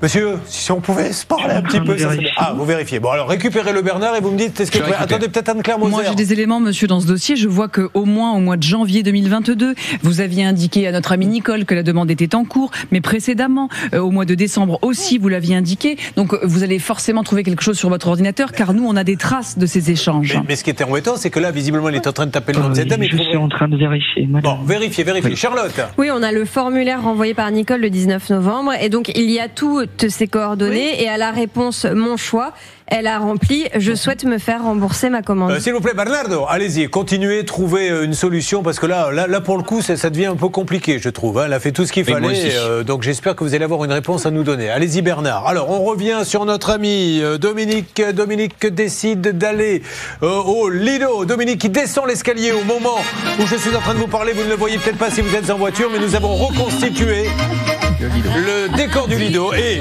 Dominique a accepté de jouer le jeu. Il a une sorte de string, une petite cape en paillettes et il a d'énormes plumes sur la tête et il s'assoit et il est avec nous. Alors, il achète, votre fille achète le cadeau, on est d'accord? Elle achète où exactement? Sur le site du Lido. Sur le site du Lido, c'est deux dîners spectacles. Tout à fait. On dîne, je suppose, carré or, coupe de champagne, la totale et le spectacle après. Tout ceci pour la modique somme de 660 euros. voilà, 660 euros pour deux, mais ça les vaut, hein, c'est un beau spectacle. On n'est pas en train de juger ouais. le prix, c'est- on en a pour son argent. hein, et puis il faut, faut voir le nombre de personnes qui travaillent là-dessus.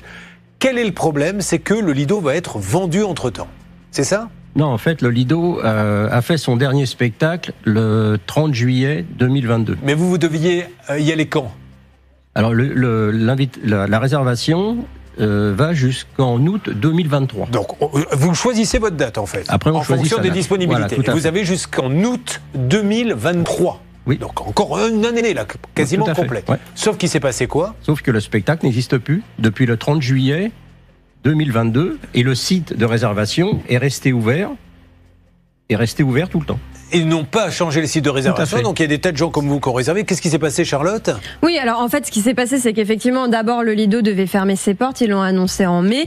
Euh, ils ont cessé leur spectacle au mois d'août. Et en fait, le groupe Accor a repris le Lido, qui a rouvert avec des spectacles complètement différents. Donc, ce qui se passe, c'est que pour les places précisément euh, achetées par la fille de Dominique, il n'y a plus de spectacle correspondant. Donc, ça ils ont écrit pas. noir Non. sur blanc. Mais de toute façon, le Lido a écrit noir sur blanc. De toute façon, on ne peut pas vous fournir de prestations. Donc, il faut vous rembourser. Ils l'ont écrit. Et euh, on ne sait pas pourquoi ils ne- ils n'envoient pas l'argent. Alors Anne-Claire Oui, alors moi, ce qui me disconvient vraiment dans ce dossier, c'est qu'on se rappelle que le contrat, c'est la loi des parties. Je contracte pour une chose et pour un prix. La fille de Dominique, elle a contracté pour ce spectacle en particulier et pas pour un autre. Le 5 août, quand on sait que le Lido avait fini son spectacle le 30 juillet, je trouve ça déjà un peu border. Et le 8 août, le Lido écrivait à nos amis en indiquant, comme l'a dit Charlotte, nous nous sommes efforcés de vous prévenir, conformément à nos conditions générales de vente, le remboursement de votre réservation ou de votre euh, bon est prévu en ce sens. Et que aujourd'hui, on entend toujours, ça n'est pas normal. Évidemment, on croit à Dominique, mais on a quand même voulu vérifier. C'est notre job d'écouter ce que vous nous dites, mais de vérifier quand même. Et on a appelé pour savoir euh, euh, si on était dans le même cas que vous, s'il y avait un remboursement. Je vous propose d'écouter. J'ai réservé avant la fermeture euh, et je voulais savoir si euh, c'était possible du coup de se faire rembourser euh, parce que j'avais pris pour un dîner. Je crois que c'est plus possible, c'est ça? Oui, c'est ça. Et donc on, on va me rembourser, il n'y a pas de problème. C'est ça, tout à fait. Voilà, donc c'est clair, c'est net, c'est précis. Mais alors le dernier dialogue que vous avez eu avec eux quand vous avez relancé en disant mais qu'est-ce qui se passe? Quand est-ce que j'aurai euh, mes Ben, en 600 fait, euh, notre fille, le 8 août, a envoyé son RIB, comme avait demandé le Lido. Oui. Ensuite, elle a relancé euh, au mois de septembre. Oui. Et depuis, il n'y a rien. Rien du tout. Bon, alors on essaie de les appeler, euh, je suppose. Bon, euh, là, il n'y a pas de malhonnêteté, hein, vraiment. Je pense que c'est un problème Je pense d'organisation. pas parce que le groupe Accor est quand Oh, même un mais bien groupe sûr. euh, énorme. Non, mais euh, il faut quand même se dire, on, est, on parle de 600 euros. Hein. C'est pas rien. ouais. C'est un très très beau cadeau qu'elle vous Tout a fait. fait, ouais. Je pense que la moindre des choses, déjà, il y a une déception de ne pas pouvoir y aller quand on vous a fait un cadeau. Le, le spectacle n'existe plus. Dans ces cas-là, bah, on rembourse On tout de suite. Ou alors on aurait pu vous proposer, venez voir le nouveau et au prorata, on enlève le repas. Hervé, Je vais vous passer le service réservation du Lido. merci. Bonjour. Allô Vous m'entendez, madame Oui, oui, je vous entends. Julien Courbet, l'émission Ça peut vous arriver. Euh, Madame, je suis avec un monsieur dans l'émission qui a commandé à l'époque des dîners-spectacles, un dîner-spectacle valable jusqu'en août 2023. Bon, je sais que maintenant il n'y a plus de dîner, mais il n'arrive pas à se faire rembourser, il n'arrête pas d'appeler, d'écrire. Et comment peut-on faire pour l'aider, s'il vous plaît Bah, je vais vous donner notre adresse mail euh, et euh, il nous fait un mail à l'adresse que je vais vous donner. Oui, il et, l'a fait, madame. remboursé Alors, je- normalement. je- le client est là. Si- S'il est là aujourd'hui, c'est que vous vous doutez bien qu'il a fait toutes les démarches. Est-ce que vous avez envoyé un mail, monsieur Un mail avec un RIB. Un mail et même un RIB, il a envoyé, que vous avez donc chez vous. C'était à quelle adresse mail, s'il vous plaît? À, quelle adresse mail quoi? Il a, euh, Où il a envoyé le, son mail. Alors, à quelle adresse mail Vous l'avez, ça, le, le petit papier? Ça On va être vérifier. euh, réservation le lido.fr. Réservation.lido.fr. J'ai standard.lido.fr, moi. Non, c'est plus euh, en fait, euh, du coup, comme je vous ai dit, comme ça a été racheté, en fait, quand vous envoyez des mails, euh, ça c'est les anciennes adresses mail, donc en fait elles fonctionnent plus. Et nous, on a une nouvelle adresse mail, et euh, du coup, bah, je vais vous la donner si vous voulez. C'est à celle-là qu'il faut écrire parce qu'en fait, Alors, juste, madame, vous avez appelé à un moment donné, vous les avez Ma obligés fille a appelé aussi. ouais. Mais on leur a donné, on lui aura pas dit qu'il y a une nouvelle Non. adresse mail Non. Bon, alors, allons-y pour la nouvelle adresse mail, alors, madame alors c'est réservation avec un S Oui. Et après arrobase even arrobase eventim, donc c'est E V E N T I M. E, E, parce qu'il est en train de noter, là, il est en train de froncer les yeux, hein, je ne vous le cache pas. Alors, E, comme un event, c'est de l'anglais. E, V, E, N, T, et après IM. I M. I, M. M, c'est un M, c'est un M. Eventime. Comme Eventime. Martine. Bah, pas comme Time, Time, c'est un T. Attaché. Comme- Comme Monique, on dit comme Time. Comme Monique, on est d'accord C'est tout, tout attaché? Euh, Oui, non, voilà, ça, ça ça, vous verrez avec ça dans l'intimité, monsieur. Je- nous, nous, on fait pas ça dans l'émission ici. Non, non, non, non, ça, on, on- on déconseille même. Bon, euh, allez-y, vous essayez de noter l'adresse, Hervé Je vais reprendre l'adresse. Merci madame, Bon, Ouais, on ouais. va faire ça, mais j'espère que ça va marcher cette fois-ci, hein, parce qu'il a, il a vraiment tout essayé. Euh, récupérer, mais c'est, c'est, c'est- enfin, c'est ce qui, moi ça me plaît pas beaucoup, parce que mince, les gens ont payé 600 euros, il y a une adresse, alors eux, ils se fient sur l'adresse qu'ils voient sur les sites. Ah oui, Bien mais sûr. on a changé d'adresse. Comment on le sait, nous, que vous avez Non, changé ouais, on, les, d'adresse on- on les prévient pas. Puis moi, ce qui me plaît pas, je vous l'ai dit tout à l'heure, c'est qu'au moment où la fille de Dominique contracte, eh bien, euh, le service réservation ne met pas une petite note. Ça aurait été possible de dire, ça, ça va être un nouveau spectacle. Ils sont pas prévenus, donc je trouve qu'on est un peu pris par défaut. Voyez, je trouve pas ça correct. Excusez-moi, mais j'espère surtout que ça va marcher avec cette adresse. On va l'essayer euh, immédiatement, mais dès la semaine prochaine, on va appeler. Et vous, Bernard, vous, vous avez des, vous connaissez des gens au groupe Accor. C'est des gens ultra sérieux. Le groupe Accor, c'est Oui. l'un des plus grands groupes hôteliers du monde. Exactement, et c'est Monsieur Bazin qui est à la tête, l'ancien président hein, de- du PSG. Donc je pense qu'il doit peut-être écouter l'émission ou ses collaborateurs. Donc on va agir vite, Bah. S'il écoute euh, l'émission à cette heure-ci, c'est qu'il a vraiment que ça à faire. hein. je lui souhaite, je lui souhaite d'être en réunion, en train de bosser. Sinon, euh, c'est pas forcément un gage sérieux de dire il est en train de nous écouter. hein. Vous croyez me faire plaisir, mais en fait, pas du tout. Bon, vous essayez de l'appeler Ok. Alors, faisons un petit point en musique. Déjà, il y a Patrick Bruel. Patrick Bruel, euh, autrement dit Fabio, qui lui, normalement, sera remboursé. Il a fait une prestation et il n'a pas été payé. Semaine prochaine, ça devrait être le cas. Vous me donnez un petit coup de fil. Hein. Très bien. Bon. Kenji. Alors, Kenji, où en est-on, s'il vous plaît Puisque. Ah, il se passe une alerte sur Kenji? Ben oui, sur Kanji, Julien. Alors, ben oui, allez-y. Donc Ticket, malheureusement, donc a pris le document et va le remettre dans le circuit du remboursement. Ça va prendre du temps. Mais entre-temps, Julien, je viens de recevoir un coup de fil de la production de Kenji qui écoutait l'émission à C'est la pas radio. vrai. Je vous promets Ah que ben, je quand même- pas. C'est donc vrai, il y a vraiment des gens qui écoutent. Et ce monsieur s'appelle Étienne. Il vient de me- je viens de l'avoir au téléphone. Il m'a dit écoutez, rassurez euh, Nicole et Jean-Pierre. J'appelle Ticket pour voir exactement comment on peut accélérer évidemment tout ça. Et peut-être qu'on aura une petite surprise pour Nicole et, et Jean-Pierre Bonnet pour la suite. Oui. Et la surprise, c'est que votre mari va rester dans le jardin, jardiner, et vous partez pour un week-end en amoureux avec Kenji Girac. La gondole et Kenji qui vous chante Ritano. Parce que c'est vous qui allez gondoler. Hein. Le Kenji, ça il ne le fait plus depuis longtemps. Et puis il y a donc nos amis du Lido qui viennent de nous apprendre donc qu'il fallait changer d'adresse. Vous me le confirmez, Hervé?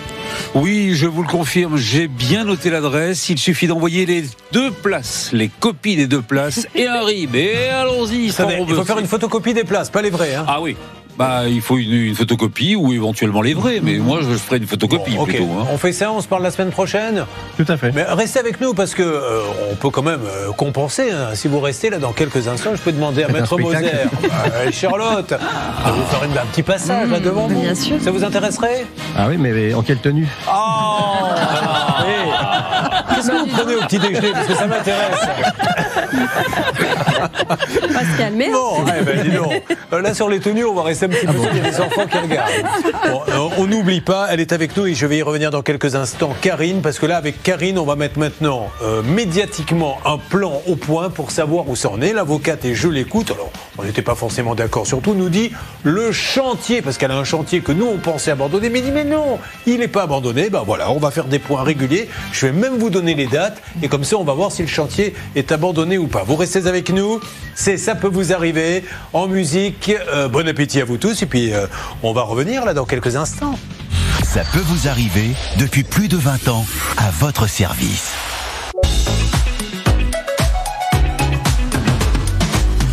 Plein de bonnes nouvelles pour Kenji Girac en musique. Nous savons que la production va s'occuper directement d'elle et à mon avis, ils vont vous faire une petite surprise. Contente Merci. En ce qui concerne le Lido, on a une nouvelle adresse. Là aussi, on va contacter carrément le groupe Accor. Semaine prochaine, remboursement. Sinon, vous m'appelez, ok? Très bien, merci. En ce qui concerne le chantier, donc on a eu l'avocate, puisque madame a un chantier qu'elle dit abandonné. L'avocate nous a dit, mais non, il n'est pas abandonné. Or, madame nous dit qu'elle est avec moi, ils ne sont pas venus depuis novembre. Donc maintenant, tous les lundis matins, on fait un point avec vous et vous nous dites si le monsieur est venu ou pas. On verra qui est de bonne foi ou de mauvaise foi et si vous nous avez menti en nous disant que le chantier est à l'abandon ou pas du tout. Quant à ce monsieur de LP Bâtiment 77, Lilian Plesquet, il est prioritaire pour nous parler sur l'antenne. Mais aujourd'hui, moi je veux bien. Rappelons que vous voyez ces photos, combien avez-vous donné à ce jour? 128 000. Sur combien?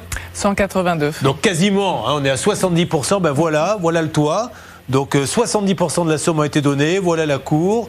Euh, vous avez, euh, je crois, il y avait aussi des, un mur où- qui vous inquiétait un petit peu, c'était pas Oui, là oui, des fissures. Voilà, des fissures. Bon, moi, je veux bien et on, on verra ça tous les lundis. Donc, et l'avocate est la bienvenue pour nous parler quand elle le veut. En ce qui concerne les spectacles de Patrick Bruel, ils vont être payés, mais je crois qu'on a quelqu'un en ligne, Stan. Et les talents de Fabio ne sont pas passés inaperçus, Julien, puisque Christian nous a appelé au 3210 et il souhaiterait faire travailler Ah, Fabio. bonjour Christian, comment allez-vous? Très bien, très bien. Alors, qu'est-ce que vous faites, vous, Christian? Vous organisez des spectacles? Ah, pas du tout, du tout. Je travaille pour un grand groupe et dans le cadre de certains de nos séminaires, on peut les faire travailler. Voilà. Ah, Mais ils sont preneurs Très bien, donc c'est le spectacle de Patrick Bruel qui, qui vous a plu? N'importe. euh, Oh, N'importe, il a. Bah, il fait pas. Non, mais non, mais c'est plus. Tu nous fais bien une petite connerie, la jongle, si tu veux. Non, il- euh, utiliser Patrick Bruel, il le fait bien.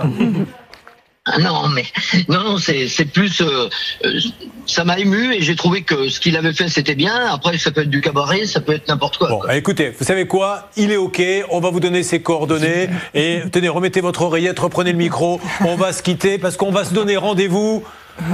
Demain, hein, pas dans 10 ans, nous, contrairement à Patrick Bruel pendant que la musique démarre. Merci à toutes les équipes. Et euh, Fabio, donc, va terminer avec nous avec ce rendez-vous dans 10 ans de Patrick Bruel. C'était dit rendez-vous dans dix ans. Même jour, même heure, même port. On verra quand on aura 30 ans. Sur les marches de la place des grands hommes. Le jour est venu et moi aussi. Mais je veux pas être le premier. Si on n'avait plus rien à se dire, et si et si, je fais des détours dans le quartier. C'est fou ce qu'un crépuscule de printemps rappelle le même crépuscule qu'il y a dix ans. Trottoir usé par les regards blessés. Qu'est-ce que j'ai fait de ces années? Ah, je- J'en prends juste quelques instants. Vont arriver les titres du journal. Il y aura après Philippe Caprivière. Merci à tous d'avoir été là. Voici le refrain. Merci et à demain. Allez C'était dit rendez-vous dans dix ans. jour meurt même pas. On verra quand on aura 30 ans, sur les marges de la place des grands hommes. J'avais eu si souvent envie d'elle. La belle Séverine me gardera-t-elle Merci à tous. Merci à Fabio qu'on applaudit, mesdames et messieurs. C'était un ça peut vous arriver un peu particulier. Rendez-vous demain euh, pour du best-of, vous le savez, et l'inédit dès 11h35. Au revoir, bon appétit.